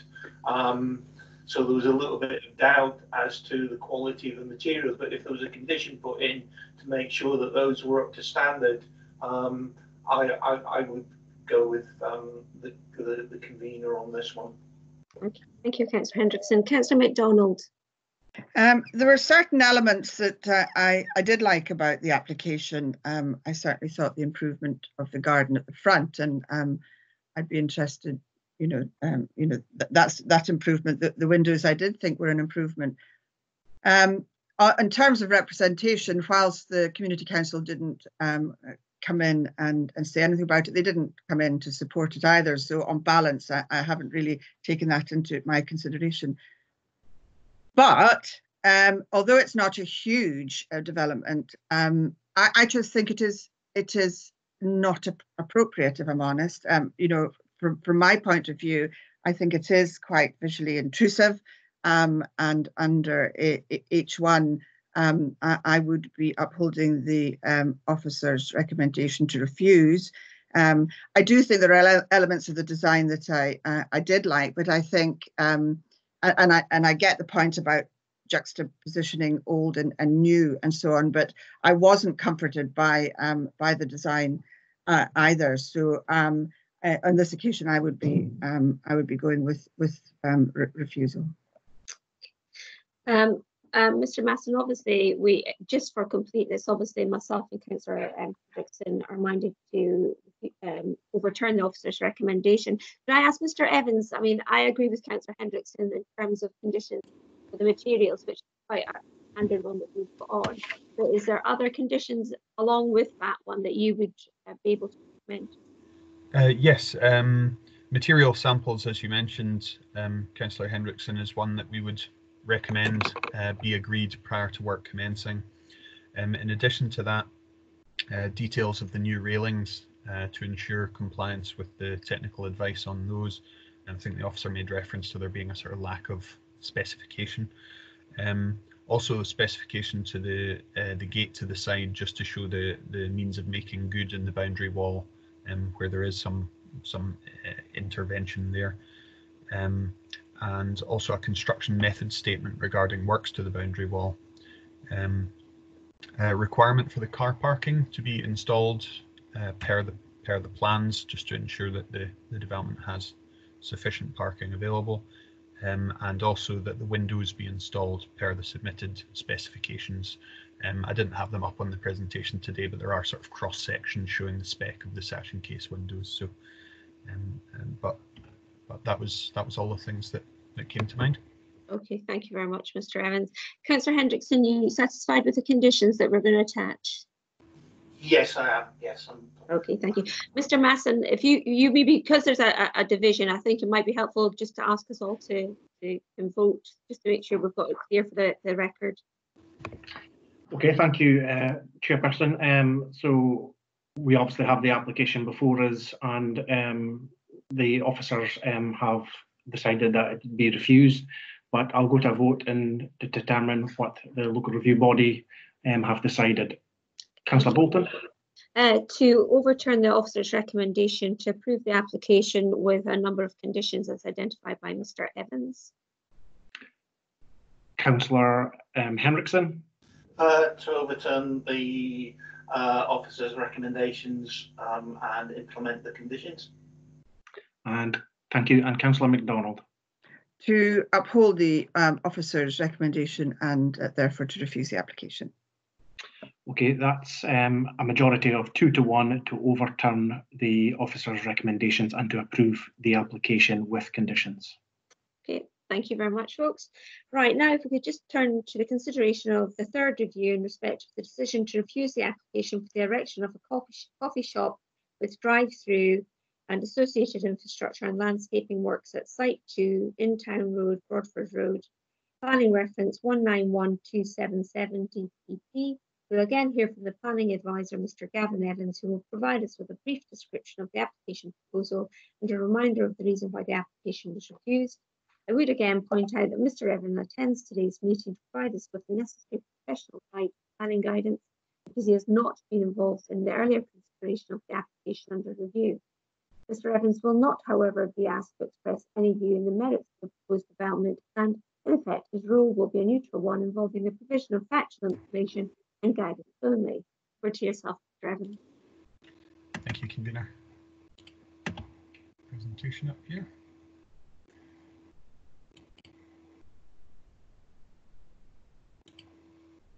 Everyone see that okay? Yes, thank you. Perfect. Thank you, convener. So uh, with this third case, we have a request for review against an application refused under delegated powers for detailed planning permission for the erection of a coffee shop with drive-through and associated infrastructure and landscaping uh, at Site 2 Intown Road, Broadfold Road. Uh, again, the review was found to have been submitted with all the necessary information and within the time limit of three months following the decision taken by the appointed officer. Uh, no new matters have been raised in relation to this review and no further procedure has been requested from the applicant. Uh, they've expressed a view that um, they're satisfied that we proceed on the basis of these written submissions. Um, excuse me. So uh, in terms of site description, uh, the application site lies to the northern side of Broadfold Road, uh, Bridge of Don, and is bounded on its eastern and northern sides by Intown Road, just here. Uh, the busy A956 Ellon Road lies approximately 30 metres to the east, just here, um, to the other side of a belt of trees uh, and runs parallel to Intown Road. So uh, there's a sort of landscape tree belt which uh, you maybe see on the think I have an aerial shot. Yeah, there we go. Um, so that perhaps shows it best. Slightly out of date image because um, there has been work going on on this site since the time of that photo. Uh, excuse me, the site extends to uh, 0.28 hectares uh, or 2,800 square meters um, and previously formed part of a, a wider site. Um, you see the way in which it's shown here, the, the red line is the application site and the blue line is land, which is also in the applicant's control. So previously the entirety of this area formed one single site, which was the premises of a car sales garage, um, which also had a repair and servicing workshop. Prior to that site being cleared and separated into two units of roughly equal size.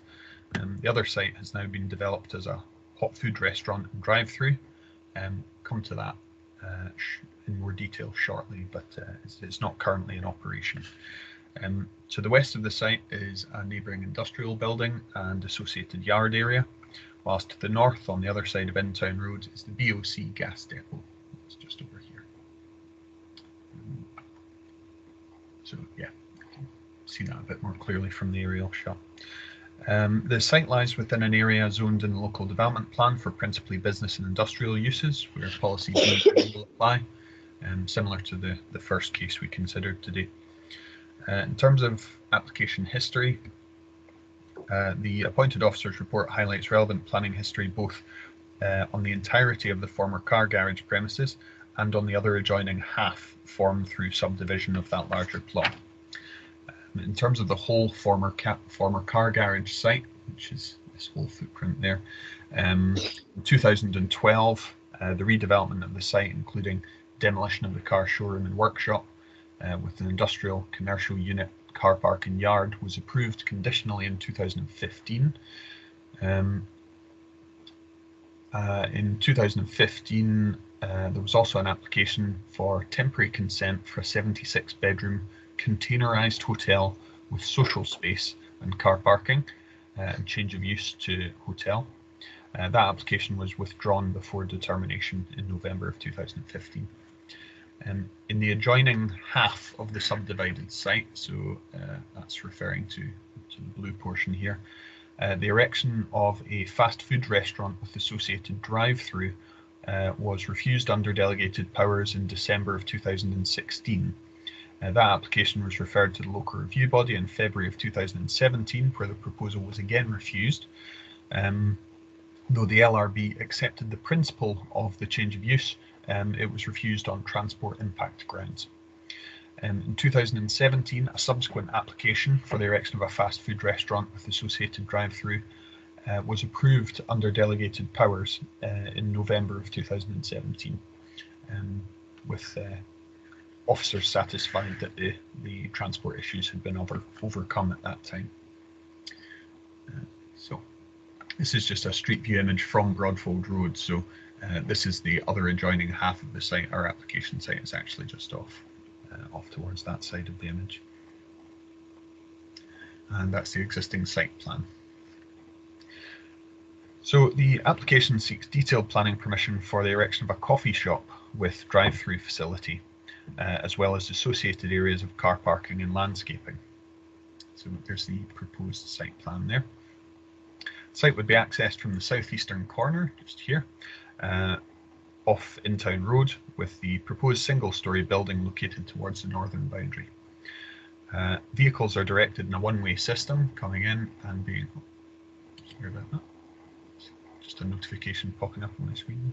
Um, yeah, so vehicles directed in a one-way system. Uh, drive-through customers would be directed to a dedicated drive-through lane uh, towards the, the rear of the site uh, running clockwise along the west and northern boundaries before returning to the site access. So it just comes around the back of the property and you have a uh, drive-through service window here, uh, waiting bays, uh, a couple of those just there, and then returns back to the access. Uh, 22 car parking spaces are shown on the proposed site plan, including three accessible spaces. Uh, the single-storey building would be located towards the northern end of the site, and that's just a, a zoomed in view of the site plan. Um, I'll come back to the landscaping plan shortly. Um, what I'll do quickly is to show you the elevations. Um, so the uh, the building would feature a monopitch roof and would be finished in a combination of full height glazing and vertical timber cladding with black panel cladding also utilised on secondary elevation. So this is the elevation facing into the car park, which is a sort of main point of arrival for for people who are coming from their cars to, to dine in, as it were. Um, so this is the black cladding on the sort of secondary elevations.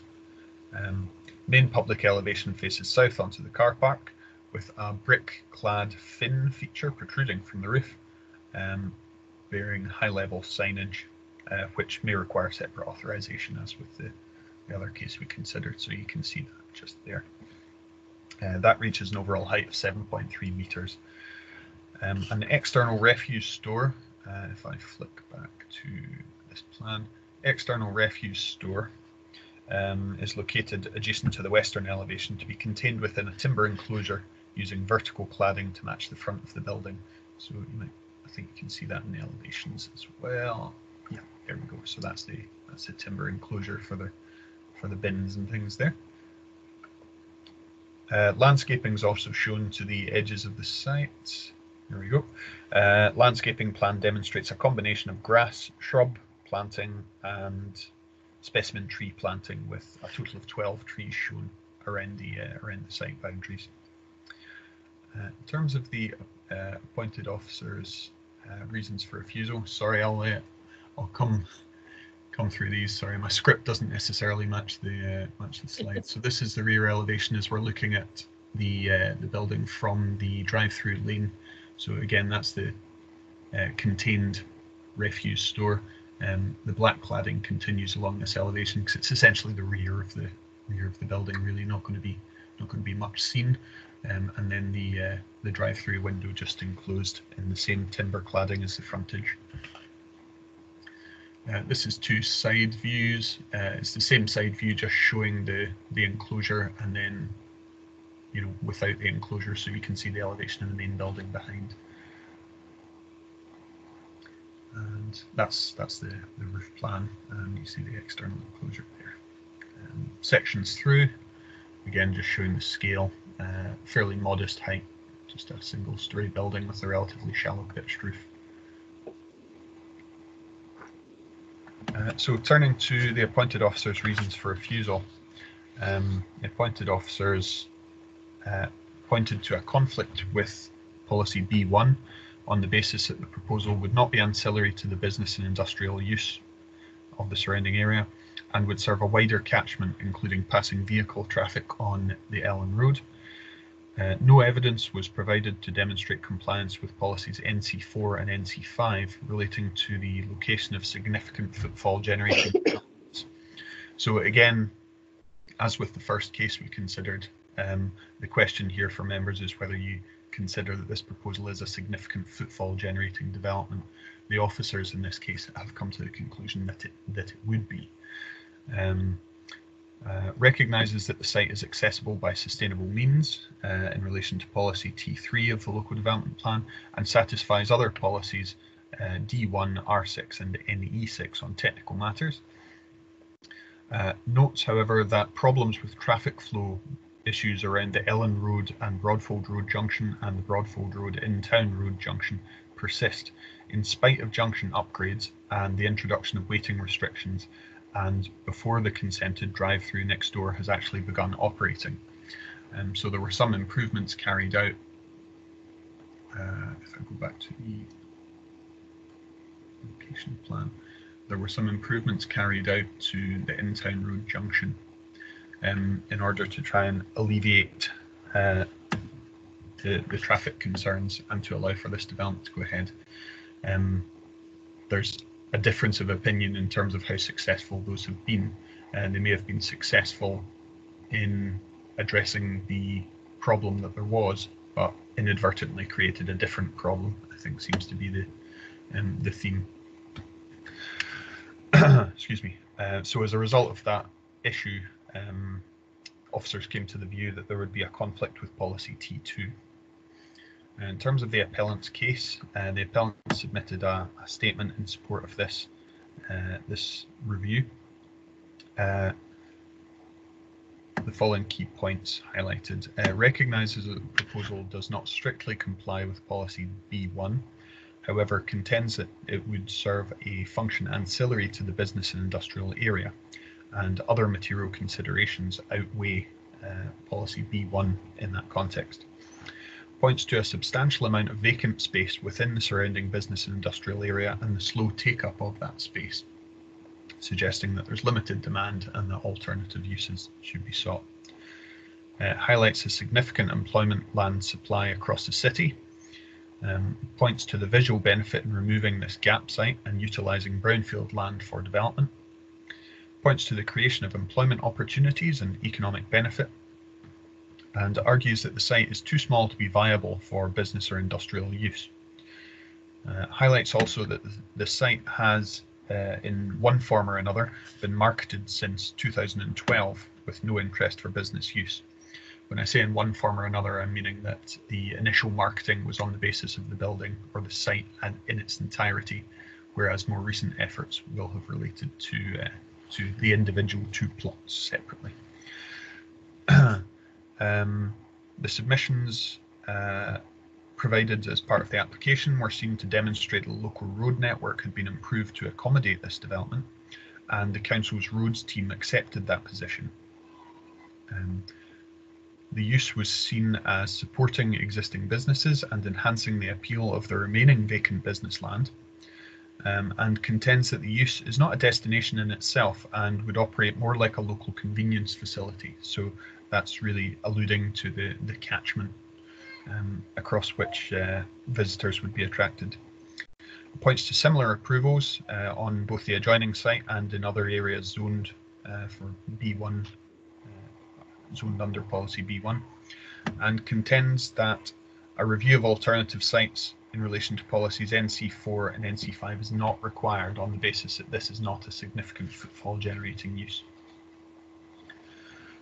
excuse me, uh, in terms of consultations, um, the Council's Roads Development Management team had no objection to the proposal.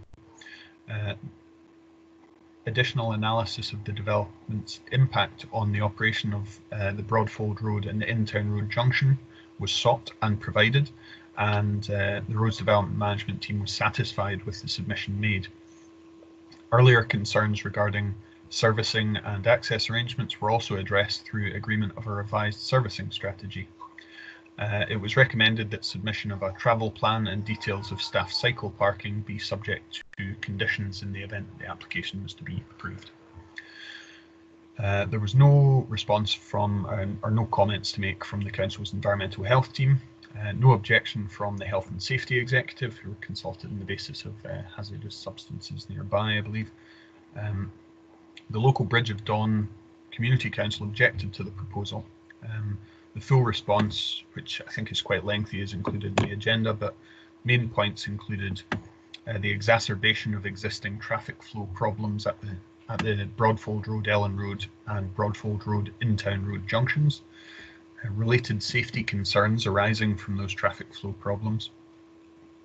Uh, noted that the works already undertaken in relation to the approved KFC on Intown Road have failed to address problems at these junctions without that unit ever having been brought into use. It's therefore assumed that the problem would be exacerbated when both that unit and potentially the one before the LRB are, are also in operation with the associated uh, traffic generated. Uh, highlighted that the desk-based assessment undertaken by roads officers does not reflect the real conditions observed at the junctions in question and highlights an inconsistency between the applicant's insistence that many users would travel on foot or by other means of sustainable transport um, and that vehicle traffic would be low with the inclusion of a drive-through facility in the proposal. And lastly, warns that roads assessments have previously indicated that the McDonald's store on Broadfold Road would operate within junction capacity. However, problems with traffic flow were observed almost immediately on its uh, its development. In terms of representation, uh, no representations were received from members of the public. And uh, at that point, Councillor Boulton, I would just hand back to you for members to decide on further procedure. Thank you very much. Um, thank you very much, Mr Evans. We obviously now need to determine whether we have sufficient information to be able to determine the application before us. Excuse me, could I just ask Councillor Henrickson? Uh, yes, I'm happy to go ahead, uh, Convener. Okay, Councillor McDonald? Yes, I have enough information, thank you. Uh, equally, I feel I've sufficient information um, in front of me to be able to determine the application today. Mr Evans, would you like to go into the policies? Sure, Thank you.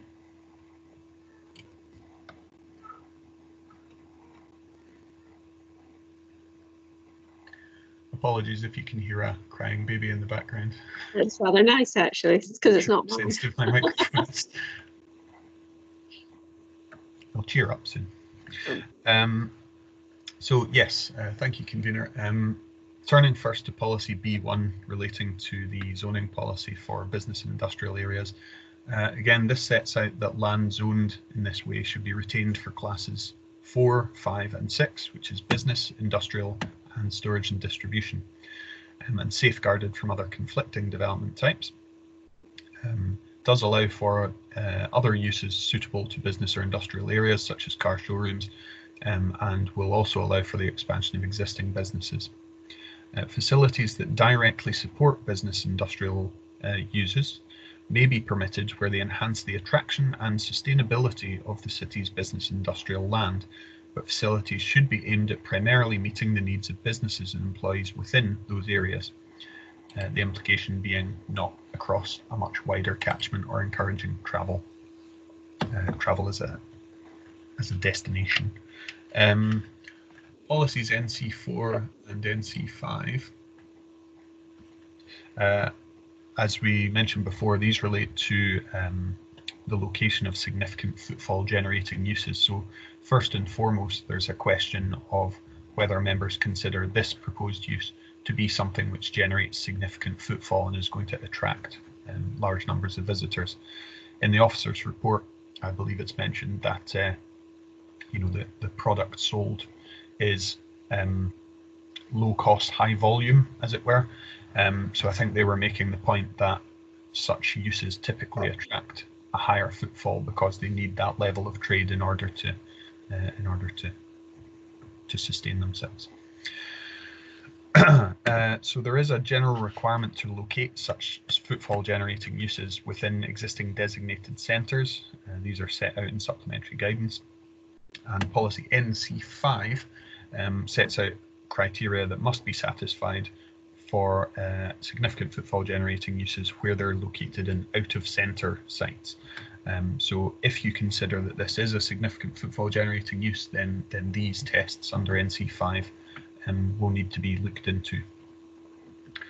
Um, the officer's report highlights that no such evidence was provided in terms of the assessment of alternative sites or whether there were any available within existing designated centres. Uh, so there was no no commentary or uh, or evidence provided on that basis. Policy D1 uh, relates to design quality, requires development to be of a high standard of design, which demonstrates an understanding of its context and links to the six qualities essential to good placemaking.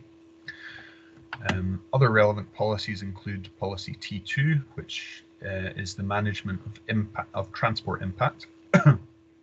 policy T3, encouraging sustainable and active travel, and policy R6, which relates to waste management requirements for new development. Uh, in terms of supplementary guidance, the Council's transport and accessibility guidance is also relevant in terms of um, setting out car parking standards and the like. Uh, so in summing up, um, oh sorry, other material considerations, the strategic development plan um, provides a high level commentary on the importance of sustainable economic growth. Um, Scottish planning policy sets out a requirement to protect town centres with a town centre first approach for uses which attract a significant number of people. Scottish planning policy highlights that planning permission should not be granted for significant travel generating uses at locations which would increase reliance on the car and where sites are not appropriately accessible uh, by sustainable means. It's worth noting the appointed officer's report does acknowledge that the site is accessible to cyclists and pedestrians and also via public transport, but considers that by its nature a drive-through with on-site parking provision will encourage travel by private car, which would be lessened if located in an appropriate designated centre. So summing up the, the following sort of key points for, for discussion. Um, first and foremost, zoning. Do members consider the proposed use is permitted by the terms of policy B1, i.e. would this development enhance the attraction and sustainability of the city's business and industrial land? And secondly, would it cater principally for the needs of those businesses and employees, or would it serve a much larger catchment?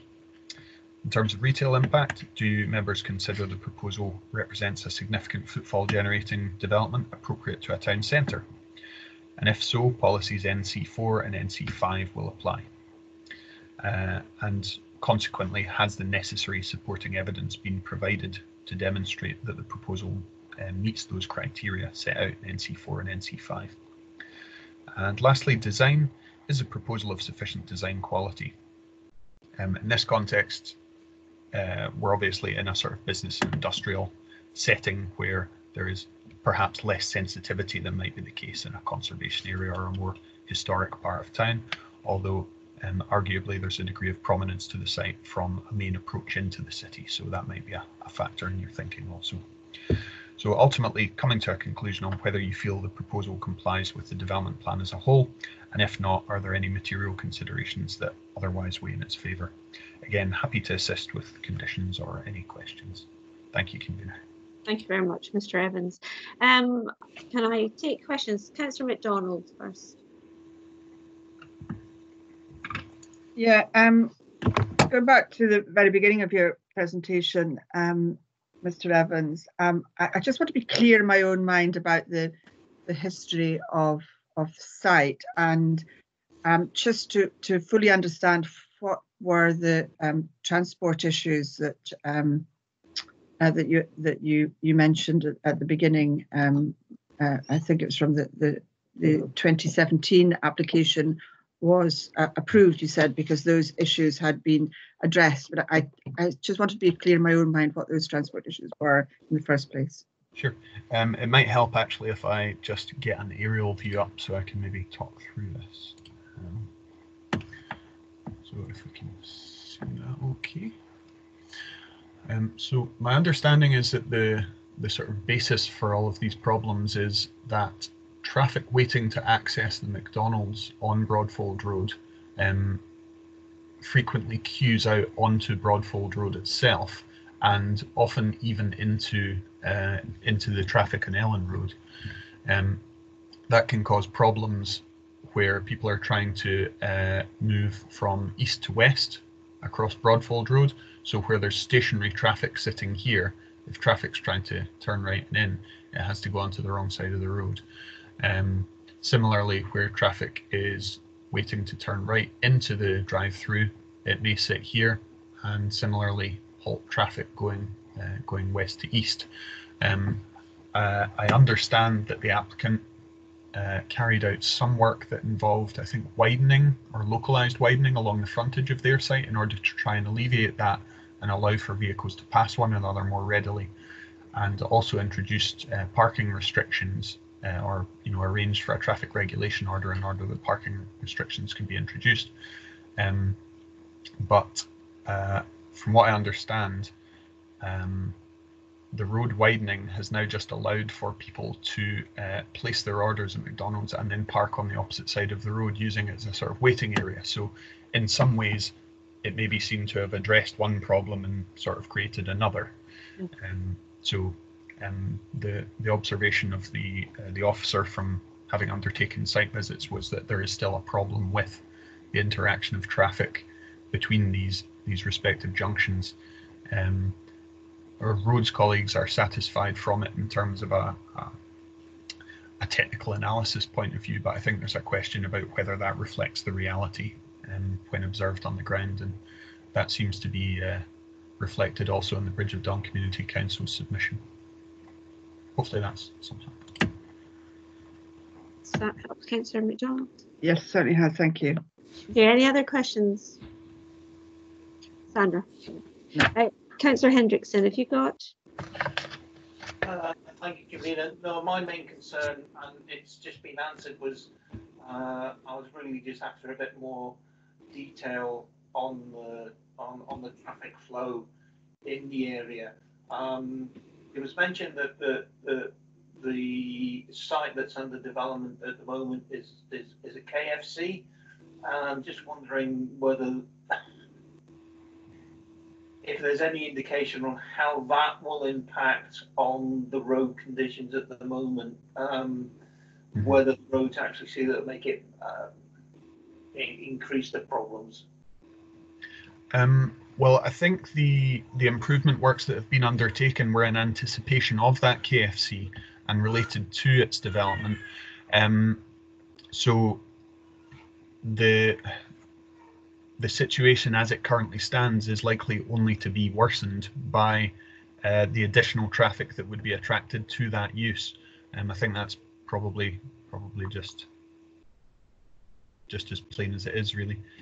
Um, but you know the flip side of that being of course that our roads development management team have been satisfied that in terms of doing a, a sort of uh, a technical analysis using the the standard methodologies for these things these junctions should be operating within capacity and um, so it's perhaps that driver behavior is not reflecting the assumptions that go into those methodologies um, so.